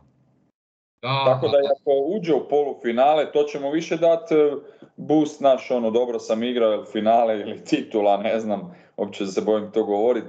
Uh, naš, dovoljno se oporaviš i onda igraš na dva seta, opet je to drugačije malo. Onda misliš da neće igrati Wimbledon? Ne, ne, ne. Osim ako ispadne u drugom kolu Roland Garrosa, a zdravije, A onda će igrat Wimbledon, šta možda zadnji put, zašto ne? Eto pa, mislim i to, i to, i to ti kažem, ako na Roland Garrosu ne napravi ništa značajno, pa odluči igrat Wimbledon, pa na Wimbledonu bude nešto bolji, četvrto kolo, četvrt finale, pa onda ide odmah olimpijski, znaš, pa ide stravije na zemlju. Ali slušaj, ne mogu, ne mogu vidjeti da on izgubi u drugom ili trećem kolu Roland Garrosa ako je zdrav. Ok, nije nositelj, pa se može dogoditi da dođe na nekog od monstruma odmah, ali da, ne, ne znam, ne znam. Mene jednostavno živo zanima i ja, ja ne mogu iščekati taj dan kad budeš drijeb Roland Garrosa, to... Znači, nema, nema šanse da prije dreva mi išta, ono, možemo sagledati nekakvu sliku favorita. Nema šanse. Puno, puno tog će još drevo osjetiti. Da Samo ono, da prije četiri finala ne ide na nekog monstruma, ono. Ali to će se teško izvjeći, ono, kažem sad te teorije zavjere, mogu li mu namjestiti nešto. E, ali vidim li ja Nadala da osvaja Roland Garros, odnosno mogu li ga zamisliti, naravno da mogu, ali mogu li sad zamisliti da on dobiva Zvereva, pa Sinera, pa Alkaraza ili Đokovića u tri meča u nizu. Tako da kažem, ovisi, hoće li se ovi međusobno eliminirati prije njega ili će podbaciti, I ždrijebi sve, jasno, Jer- jasno. jer puno velika, odnosno ogromna je razlika. Ako ti četiri finale, polufinale i finale igraš na primjer protiv e, Zvereva, Alkaraza, Đokovića, ili Sinera ubaci tu, ili protiv Rubljova, Ruda i bilo koga treći. Slažem se. E, Ivo Domić, kako bi poredali po trenutnoj igri Prižmića, Menšika i Šanga, a kako po potencijalu? Evo ja ću prvi. Po trenutnoj igri mi je Menšik prvi, Prižmić drugi, Šang treći. Po potencijalu bih rekao isto.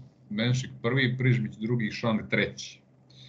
S tim da e, što se tiče igrački, ko od njih može najviše napredovat, odnosno ko još možda nije formiran igrač u potpunosti, tu je možda Prižmić najviše, jer on ima viš, najviše prostora za napredak što se tiče kvalitete udaraca, a ova dvojica mogu fizički još napredovati, što Prižmić je ono ispred, ispred obojice. Pa sad taj potencijal je teško gradirati ono na temelju jedne stavke, e, na temelju igračke je Prižmić. Da, ja mislim da će Prižmić napraviti najbolju karijeru jer je taj njegov način igre, stil igre, kužiš, on neće gubiti vjerojatno, vjerojatno neće gubiti neke mečeve koje ne bi smio. E, na snagu će povjeđivati, na silinu, na spremu, udarci će još, još ono, najmanje, najpouzdaniji će biti. Ono, gledam ga kao neku karijeru Ferrera, ako bi to mogao ostvariti, to bi bilo to, bez obzira što je Ferrer na Grand Slamovima bio tanak. E, Ha, Prižmić neće ima. Naravno, naravno, da, imat će možda, možda, a Ali- imat će Alcaraz, imat će Alcaraz i Sinera, da. Dobro, E, to su sad slatke brige o čemu mi pričamo. Da, Mešik je atraktivan, ono, baš dobro lik igra, ali mislim da nekako neće baš, mislim da će Prižmić tu biti e, najkonstantnija. Šeng mi ima priču, a guš ga je gledat, ali ne znam, možda sam ga i premalo gledao. Ma mislim, gledao sam ga više nego Mešika, ali ma, malo sam tu i subjektivan, ali Prižma ide, Prižma mrcina. Dobro, ja sam vjerojatno pogledao puno više mečeva e, i Menšika i Šanga od tebe. Jesi, Menšika sigurno, jesi Šang je igr, igrao na ATP-u, pa sam Šang je igrao e, dosta mečeva ATP-a. Ne znam, meni je ono, e, mene nije iznenadio Menšik na, na Australiji, ovdje igra je? Od koga je izgubio? treće kolo, od, od Hurkača je izgubio peti set. Tako Tako je, tako je, dobro igrao, da. e, dobro. Mislite li da je Prižmić dobio malo previše na mišićnoj masi za njegove godine? Hoće li mu to potencijalno stvarati probleme u nastavku karijere? Ma ne, one noge su sve na svijetu, one, one, one plinske boce.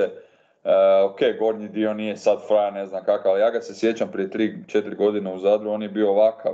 I pa sam se bojao, kao kak takav klinac može tak dobro, ono gledam ga udara, ali stvarno je napredovao top na fizičkoj masi, ali mora, mora paziti da ne bude ozljeda i toga, ono, ok, legitimno pitanje, ali mislim da nije. Nije u mišićima sve, to vidimo po Kučoviću. Uh, a ja sam čak iz nekih kuloara čuo da, da Prižma neke slike photoshopira. Ali ne bih o tome sad, da. A, jako, jako. Nemam pojma, je li to istina. E, drugo, šta mislimo, dakle i dalje Ivo pita, da je razlog e, što je skoro svaki Zverevov meč 50-50, pogotovo na slemovima. Bilo da igra protiv Alcaraza, Medvedeva ili Kleina ili Serundola. je li to možda njegov... Zato je, zato je debil. je li to do, do njegovog stila igre? Pa ja, ja ne znam kako bi ja uopće Zverevov stil, stil igre upisao. Znači, rekli smo već, protiv Alcaraza jedan stil, protiv Norija drugi stil, protiv Medije treći stil, ne, ne možemo biti pametni što se stila tiče. Mislim da je to više do njega samoga kao, kao individua. Ali ne znam, ali ne znam i priprema tih med, pa nisu Miša i stari njegov glupani, ono, znači Miša je prošao tenisa, čini mi se kao inteligentan tip, ono, stari isto iskusan je. Pa naš, ono, i sad je doveo i ovo, kak se zove, Kamke, jel da mu je hitting partner. Uh, Veliki Tobijas. A dobro, pusti to, znaš, ono, više, e, više umova, ono, daje mu drugačiju neku percepciju. Pa ne, ne kužimo, ono, ja, jasno mi je da je Zvere u servis taj jako bitan, kada servis funkcionira, funkcionira sve ostalo ali jebote, ako si mogao protiv Alcaraza i Medvedeva u prvih 2-2,5 seta onako forehande udarat, znamo da je uvijek njemu forehand problem ako nije uštiman, pa taj forehand zna izgledat smiješno, ono, mlitavo, backhand je uvijek dobar, njegov backhand je ono, perfekcija. Uh, ne kužimo ono, di je tu, di je tu problem, ono protiv Rafe kako je igrao na Roland Garrosu, pa i protiv Alcaraza, ti udarci. Čovjek može sve, ono, on kad je u prime on je, kad je u piku, on je, u rangu praktički svih ovih najboljih, znaš, on ne bi, jel bi stavio ruku u vatru da Zverev ne može pobijediti svakog ovog, na, a da znaš da je naš ono, u, ono, u formi top, top. Ima pravi sve, nema nekih mana, ono, ali ne znam. Ne, pravi Zverev uh, u pet mečeva, bilo gdje, dobiva barem jedan meč protiv bilo koga. Protiv Đokovića, Sinera, Medvedeva, Balkaraza, od pet mečeva jedan će sigurno dobiti. Ma i dva možda. Da, ali ono, kažem, to je pitanje, jel može, do, naravno da to je, to je dokazao više puta. Da. A, dobro pitanje Ivo, jel da, se baš ono, čovjek je 50-50 sa svakim na Grand Slamu, ok, a dođe u drugo kolo, ne znam, Beča i znaš da će, ako je dobar, da će 6-4, 6-4 dobiti e, Dimitrova koji je top, e, ne znam, Norija dobiti Hurkača, ali jednostavno tu, ne znam, valjda misli se ima previše lufta krenem lagano, nonšalantno. Točno se sjećam protiv Kepfera prvo kolo, ono, gledam jebote, Kepfer se nabrije, izgubi Zverev break, izgubi seris, Kepfer igra dobro, dobi set, pa onda Zverev jedva nekako, ono, dizelaški, baš čudno, ono, baš, baš čudan lik. Ono. E, iz nekog razloga se često dogodi da da se rijetko dogodi. Često se dogodi da se rijetko dogodi da, da ne izgubi setove na Grand Slamu. Pozdrav velikom Goranu Vlaoviću. Uh, je rekao, ne, ja mislim da je originalna izjava išla Često se događa da se to rijetko viđa. Često se dogodi da protivnik protiv njega uh, krene igrati svoj najbolji tenis nešto slično sam bio pričaj protiv Ćorića, da neki protivnik koji, za kojeg ne bi rekli da će odigrati tako, Ćorić mu dozvoli da igra tako. Pa isto koji zvere da sa tim piperskim udarcima, pogotovo na forehandu, jel? Da. A onda ti dođe igrač koji je ono lila s tobom ili polji na papiru, a ti ga nadigraš. To, to je problem. E sad šta je razlog? A, Toliko me razjebao zverev da, da idem po napolitanke, no. teško je, teško je stvarno reći taj razlog, isto kao i razlog Đokovićevog podbačaja. Mislim da se Zverev isto nakon tog meča možda je stao u slačionci, gleda se u ogledalo i ono, sam sa sobom se pita kak, ono, šta je taj razlog, zbog čega. Možda, možda i za svakog meča, pa bio je na post match intervju isto je to bilo pitanje jedno, ono, jednostavno, ono, to mi je u venama. To, to je odgovor. To mu je u venama. A na tome mora raditi, da. Jer ja njega vidim isto kao legitimno kandidata na Roland Garrosu, jer ono, može i na toj podozi, ima silinu udaraca kad je unutra, zašto ne? Pa onaj meč s Nadalom koji je nedovršen, ono je, ono, vjerojatno najbolji nedovršeni meč ikad. Tri ure, dva seta nisu gotova. Ono.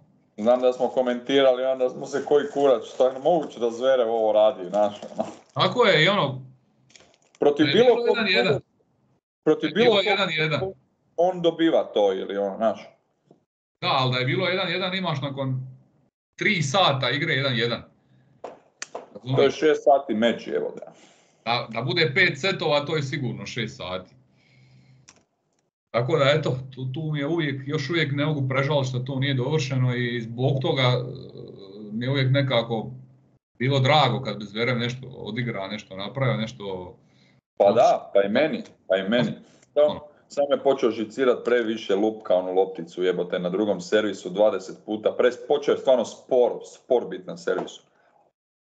Ali priznaj da iritiranost ima veze malo i sa frizurom. Ma čak i ne toliko sad kad ju stavi u rep, ajde, ono kad je imao dva, dva mjeseca, kad je ono viorilo se da izvere. E, Ajmo, ajmo dalje. I Ivo još ima jedno pitanje. Hoće li Alcaraz zatrgnuti rezultate Sinera i konkurencije u zadnjih pola godine? I je li on glavni favorit na Roland Garrosu? Mislim da je. Da, ja sam ga, ako se dobro sjećam, na početku sezone ili na kraju prošle predvidio kao pobjednika Roland Garrosa. Tako da, ono, svako, svako pitanje u vezi toga ne, nećemo mijenjati. Ti si uzeo, ako se, ako se sjećam, Sinera za US Open, jel tako? Ja mislim, Aj, bar, bar sam pogodio da uzeo Grand Slam. ja sam podijelio Đokovića i Alcaraza na, na 2-2. A Ovaj, ali nastavljamo dalje, jel? Ne, ne, neću sad sigurno, ali kažem opet puno ovisi još dribu. Ono. I mislim da ga je diglo dosta, ono odmah je čestito Sineru, to je stvarno lijepo. Ehm, znam da kad kaže Đoković ne možemo Nadal i ja biti prijatelji jer smo veliki rivali.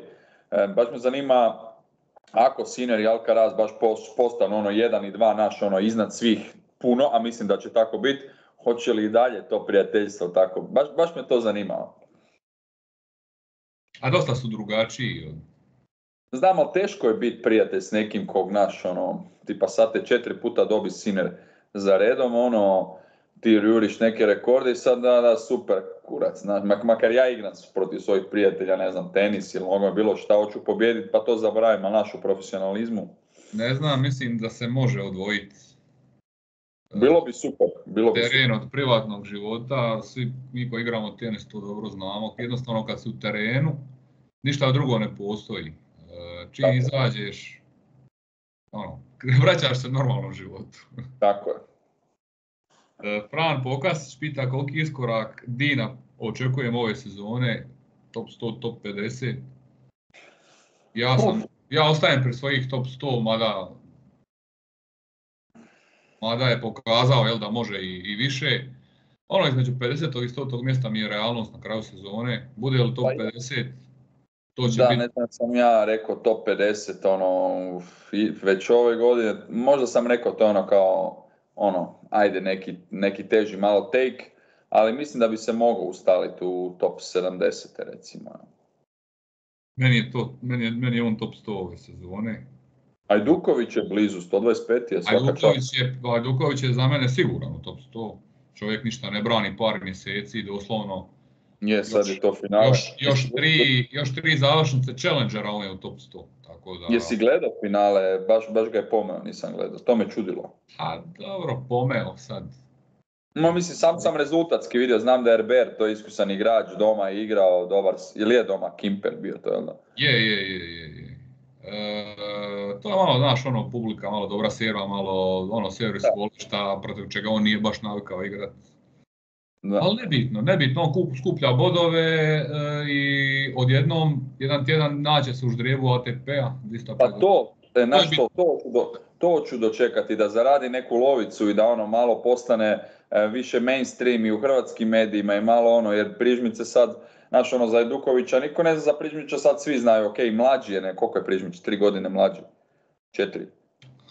99. i 2003. Da, dobro i tu je naravno, tu je velika razlika. Ne, ne, Prežmić, Prežmić ima 19, ili tako?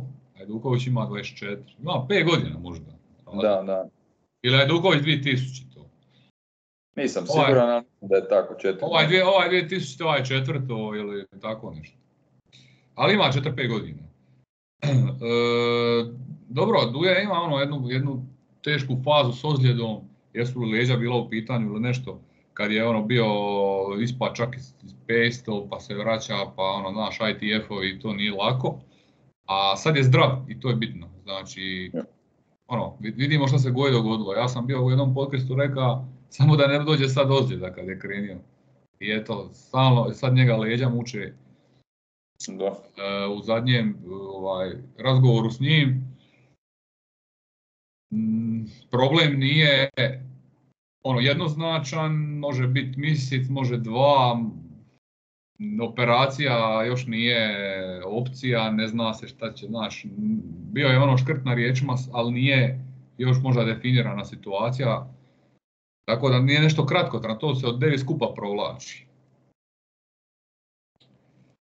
E, dajemo li više šansi Sineru ili Alcarazu na Wimbledonu i US Openu, kaže Ivan, tvoj prijatelj, jel, Sekulić?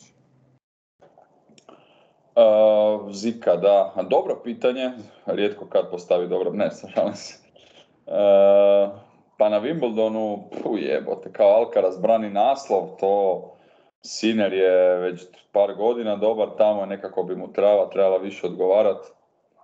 Hajde, reći ću malo Siner više na Wimbledonu, malo Alcaraz više na US Open. Mislim da ne može Alcaraz zabraniti naslov na Wimbledonu, mislim ne može sad. Može, ali mislim da tu Siner ima malo veće šanse. Ja dajem više šansi Alcarazu i na jednom i na drugom. Pošte. To je sad, pogotovo trenutno nakon Sinerovog naslova, onako Zato što se neću navući na, na trenutnu. Ma ne to, ali znaš da je Siner na travi, jednostavno ta trava više odgovara njegovom stilu igre, bar malo, ok, naravno agresioni Alcaraz je dolazi na mrežu, tu je. Mislim da je Siner... E, gle, Alcaraz je nakon, nakon ovih, ono, nakon Đokovića bi rekao, najprelagodljiviji igrač, tako brzo. To sigurno, to sigurno. I jednostavno ja, ja nisam jedan od onih koji će na temelju trenutne situacije donositi e, brzo plete zaključke i ne mogu jednostavno zaboraviti Alcaraza od prije godinu dana, godinu i pol, pola godine, znači on je u dvije godine toliko tog dobrog napravio da bi sad u pola godine se to sve zaboravilo. Znaš što, nisam ja kad sam si zamišljao, kad si me pitao Wimbledon, onda sam se sjetio Sinerovih mečeva na Wimbledonu, kad je Novaka vodio 2-0 i sad opet dobro igra i konstantno dobro igra na Wimbledonu. To mi je više bila nit vodilja, sad ili da je tu izgubio u finalu ili, ili osvojio isto bi to možda rekao, ali veću prednost dajem Alcarazu na US Openu, manju Sineru na ome, da preformuliram. A okej, okay, i to. Da budem bliže ali to, ali to će biti stvarno i Roland Garros i Wimbledon, gdje smo u zadnjih desetak, 15 godina non stop imali jedno ime e, Nadala ili eventualno e, Federera pa Đokovića, stalno ogromne favorite. Ti sad recimo i na jednom i na drugom turniru imaš e, i Nadala i Đokovića, što je dalje fascinantno s 37-8 godina da ih gurneš u, to, u te favorite i imaš ove nove koji su se konačno dokazali, osvojili slam i koji su također među favoritima. I onda tu sad kad se 4-5 igrača potuku, ono, imamo spektakl, jel, konačno. A na US Openu će to biti, ono, mislim, pet igrača ravnopravno, ono, ova četiri izvere, to bi ja rekao, na betonu, znaš, sad da se sutra opet igra Australian Open, opet bi to rekao, znaš. A tako je ispalo. Da. Više manje. E, Ante Dražić, za Zvereva pita, to si ti bio spomenuo, hoće li ovaj poraz biti prekretnica za e, porast u karijeri ili će biti slom? Ma neće biti slom, neće biti Zverevljev slom, samo će možda usporiti e, taj opet nekakav povratak u top 3 ili lov na, mar mislim malo usporiti, ali dovoljno je on e, svjestan svoje kvalitete i inteligentan tip, e, nadam se da će napraviti malo te neke i, i prilagodbe na Grand Trebamo. Trebamo, sorry šta prekidam, moramo malo pričekati ovu situaciju sa sudom. Ima i tu znači nešto, pa A da neće ništa biti, da. Ono, ali ipak kad si, kad si u nekom takvom procesu moraš dati svoj dio života tome, ne možeš se potpuno posvetiti. Ali vidiš da to, to ne utječe na njega. To već bilo je na prošlom nekom velikom turniru isto ono i frajer je igrao top ono. Ne, Je, ne, je. tu, tu je jak, tu je jak ono. Šta je opet kontradiktorno. Da, da, zanima me na Roland Garrosu ono što smo rekli, prva tri kola. Pa ajde nemoj izgubiti setove od debila nekih, mislim od debila, da se ne izrazim, od nekih poluanonimusa. Pa daj pometi to sa 3-0 ili ajde izgubi jedan set u prva tri kola pa da budeš svjež ono. Prvo kolo Roland Garrosa, Zverev, Munar, 3-2. A Isus. E, Andrej Knežević, šta očekivati od Cinera u nastavku sezone? Može li nastaviti u ovom ritmu? U ovom Ovaj ritmu. ritam, Ho, ovaj ritam, brajo, ovaj ritam je... Ako može nastaviti u ovom ritmu, misli, što ostali ne moraju igrati. Da, da. Je, li- je li trenutno kompletni igrač od Alcaraza? Ne. Ja isto mislim da ne. I opet ću to kazat e, da, da se moramo ipak malo spustiti. I kao što smo se morali spustiti na zemlju i nakon Alcarazovog Wimbledona nije Alcaraz od jedan put postao najbolji igrač na svijetu i Da. neće osvojiti od jedan put 20-25 slemova. Znači, sve su to normalne faze u karijeri nekog igrača. E, Sada slijedi nekako logično odgovor Alcaraza. Znači, ono, svi će imati svoju fazu. Znači, slijed, Očekujem. prošlih pola godine je faza Sinner, apsolutno. Znači, mora Je. Čak ne mora postojati faza Alcaraza, nek postoji obe faze istovremeno. To isto, to isto ovaj, e, za Alcaraza će biti dobro. E, I još zadnje od Andreja, jel očekujemo Novakov pad ove sezone? Počeš ovim porazom. E sad, ako gledamo, Da, ne znam. Ja ne bojim se pričati o tome jer ono ako kažem da, pa će opet igrat ne znam kako. Mislim da neće osvojiti Roland Garros. Um, Wimbledon je, mislim i dalje prvi favorit. A ono, ako osvoji Wimbledon može sezona biti za njega uspješna jer ono, on realno gleda on realno gleda samo Grand Slamove, ok, tu je te olimpijske igre, ajde. Ali mislim da neće se sad opet vratiti na onaj nivo recimo od US Opena prošle godine jer ono je nerealno bilo. ako je pad manje od tri Grand Slema, onda, onda apsolutno očekujemo.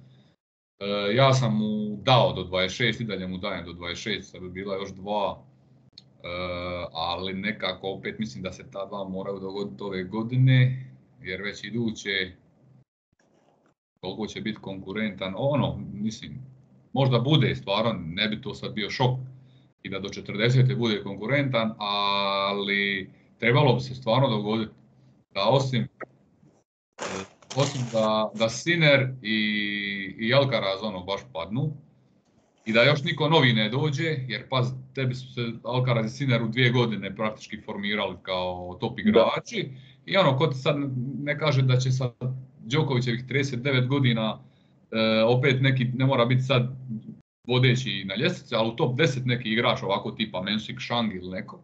E, Da. I ti igraš s njima s 39 godina, pa će ti dolaziti svako kolo, ono, malo Da. teško. Isto. Teško je to održati. Ali Ali da da, ali, mu, ali mu još dva, ali mu još dva dajem, eto. ali mislim da će nakon ovog teškog poraza i loše igre se i on dići pokazati ono, gle, ipak sam ja tu gazda. Još uvijek je broj jedan, makar je ta razlika stvarno mala i bit će tu brzo promjena.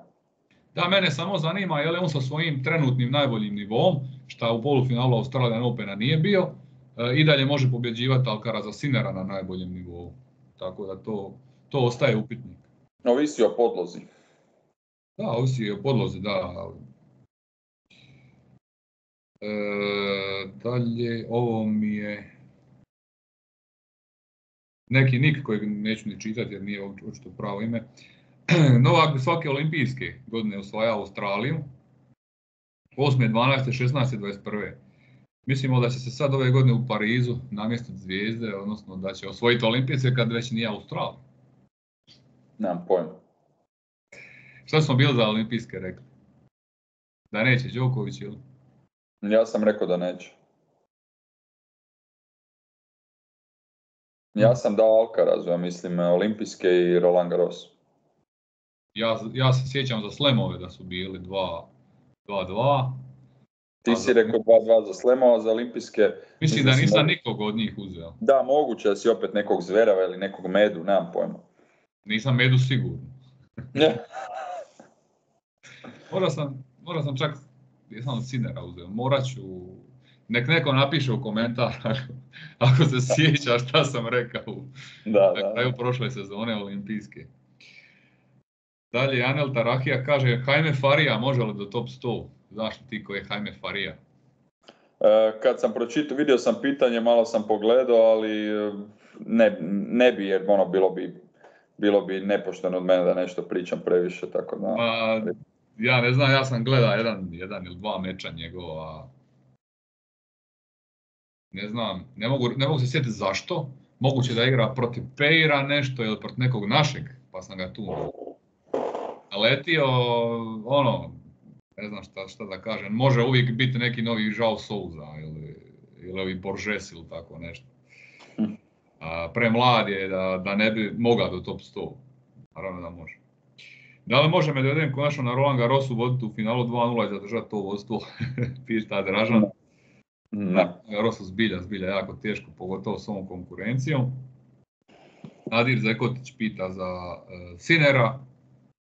Može li na Wimbledonu podići trofej? Ti si mu čak tu dao šansu ispred Alcaraza. Ne, mislim da može, ne mogu reći ove godine, ali mislim da će u iduće, pa reći ću dvije godine Sinner osvojiti Wimbledon. Po meni je on i dalje treći favorit. Okay. Sada tako mislim, e, kad bi sad u sljedećih 5-6 mjeseci Alcaraz i dalje nastavio ovako igrat i ispadat ono do, do finala, onda bi mi Sinner bio drugi favorit, ali bi Đoković i dalje bio prvi. Da, da. E, Bare pita, može li Novak uspjeti uzeti bar jedan Grand Slam ove sezone? To smo već komentirali. E, ja kažem da, da ono, mislim da će jedan uzeti, a da može i dva. E, Roland Garros šansa da Carlos uzme. To smo isto komentirali, to je za mene također. Dobro. I Wimbledon brani dobro, US Open sve otvoreno. Sad ne vidim tu neko pitanje, više on to je želio možda podijeliti svoja razmišljanja, što je isto ok. E, Dado Maršić pita, vjerojatno meni postavlja pitanje, da li mi je napeta sa Balenka? A je, priznaj otrove, priznaj da je. Možda izvan terena kad se uslika, onako. U nekoj haljenici s našminkana i to. Ali da mi je napeta u tom smislu kad igra tenis, e, ne bi, ne bi rekao. A ja nju vidiš ne mogu zamisliti na šminkanu haljenici, daj mi rađe u trenirci i ono, da, ali ono, osjećam, osjećam kao da me može prebiti, pa mi to onda nije baš seks. Moraš malo namasirati.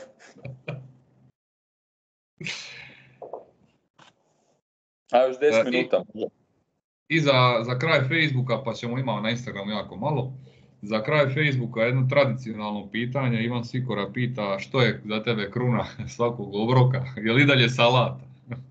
Naravno salata, ali e, ali, kra, ali kraljevska, jel? kraljevska, da. A ima i pod pitanje, još jedan friend me zajebava kao ko je prehrana kao priprema, počeli su mi nogometne pripreme, pa. Dobro, to sam objedinio u ovom, pa ono. E, je, je, salata, evo danas, i danas uz ručak je išla salata, tako da nema, nema zajebanci. Za sve ostale gastro savjete i prehrambene zapratite gospodina Prvoca na društvenim mrežama. Nemam TikTok, ali napravit ću ako bude preveliki, ako bude velika ovaj nava. Dakle, to ti je par, par sekundi video, ono, samo izmiksaš neke svoje, staviš ono opise, šta treba i to je za čas. Zamisli to, pa, pa, pa bacio bi se mu iz Savskog mosta. Tako se danas živi, to ti je danas model. Znam, znam, znam, sve, sve mi je jasno. Na Instagramu su više manje sve pitanja koja smo već odgovorili, tako da e, sa ovime možemo prehrambenim dijelom zaključiti ovaj podcast. Evo, sat, sati 45, ko bi rekao da nismo do dva sata? Ovaj. Pa, možda nije bilo sad toliko puno pitanja jer su se neka ispucala generalno za sezonu prije. E, a Davis Cup hoćemo kratko, nema nikog igrače Mrnja i, evo, sorry, igrača je Duković, da i Mrnja, ja mislim. A igrač je Pavić, Dodig, ja, i Serdar, Serdarušić je pozvan. Ali čekaj, šta je Mrnja otpuza, to sam nešto pročitao. Ne, znam da sigurno nema Goje, Čorića i Prižmića koji je otpo. A znači onda valja Mrnja Dukovića, mislim. S tim da Mrnja nije sigurno da će li igrat. Da, a Belgija nezgodna sa Zizu Bergsom i sa Gofanom koji kopa po kvalifikacijama i challengerima. U biti ne znam jel oni igraju, nisam točno ni vidio. Je, je, mislim da je Gofan, a mislim da su... Ne, mislim da je Otpo Gofan, da je kolega napisao neki dan u grupi, nešto smo neke banere radili za Davis Cup jer prenosimo. Mislim da je Gofan otpao, da je Berg ušao umjesto njega. A ko je onda još od Belgijanaca tamo? Kimer Kopejans. Dobro si ga čup. E, svakako imaju zajeban par. E, imaju Žile i Fligen, da. Tako da tu, tu nam nije siguran bod. A evo, probaj ti naći koji je Ma ne, ne da mi se. Parove mi nismo komentirali. Ali nema Belgijanca, nema Belgijanca u top 100. Znači Berg 131. Gofan 134. I sljedeći, ja ga ne vidim sljedeći ko je. Kopejan se toga. Kopejan si Joris Delor, to, to ti je još 200. Dalje, dalje nema smisla. Mislim i, i, sa ovakvim, i sa ovakvim rosterom da ih možemo proći. Da. Samo eto možda ti parovi koji budu presudni to treba dobiti. E, a parovi Mekta i ovaj solidni bili protiv, jel oni su ispali od Bopane jebene, jel da Mekta i... Je, on su ispali u trećem kolu i, i oni i Pavić, Arevalo, Pavić od Kravica Puca, sta isto ono... Da, da, Dodig je razočaranje jedino, on je odmah ispao, jel da? Je, on je u drugom jasno Čačića, s kim, s kim on igra, Nikoli. I u prvom su se mučili bili protiv Kecmanovića, s kim su igrali još. Kecmanović je bio nekim isto single igračem, tako da, ono... To sam komentirao s friendovima, kad sam vidio ona dva random para u polufinalu, ono, Mahač i Zhang, i, i Kepfer i Hanfman, i ono, ispali su za nijansu, moglo je to biti Grand Slam finale. Da, moraju se malo, moraju se malo zamisliti e, ti igrači u paru. Ono. Ne, ne, ne, ja, ja sam i dalje mišljenja da se bilo koja dva single igrača iz top 100 mogu pojaviti u Grand Slam finalu u parovima samo da, da to shvate ozbiljno i da se malo uigraju, malo bolje pripreme. A jednostavno kvaliteta je da, da, da. na njihovoj strani. Dobro. Eto ga, e, što se mene tiče možemo zaključiti. Bilo mi je drago. Ugodno, ugodno kao i uvijek. Dobra vijest je da je ovo drugi podcast već bio u prvom mjesecu, znači guramo neke rekorde. E, loša vijest je što nam je sljedeći Grand Slam daleko. Ovaj, mada ja nešto planiram snimat e, sa nekim koji je možda trebao doći na kraju. Prošle je bio planiran, ovaj, pa ga ja sam zaboravio kontaktirati, ali možda bi jedan igrač u drugom mjesecu treba doći, neću otkriti koji. A dobro, mi bi mogli možda neki trav... A mi bi mogli možda iza Velsa i Majamija, ono, iza trećega.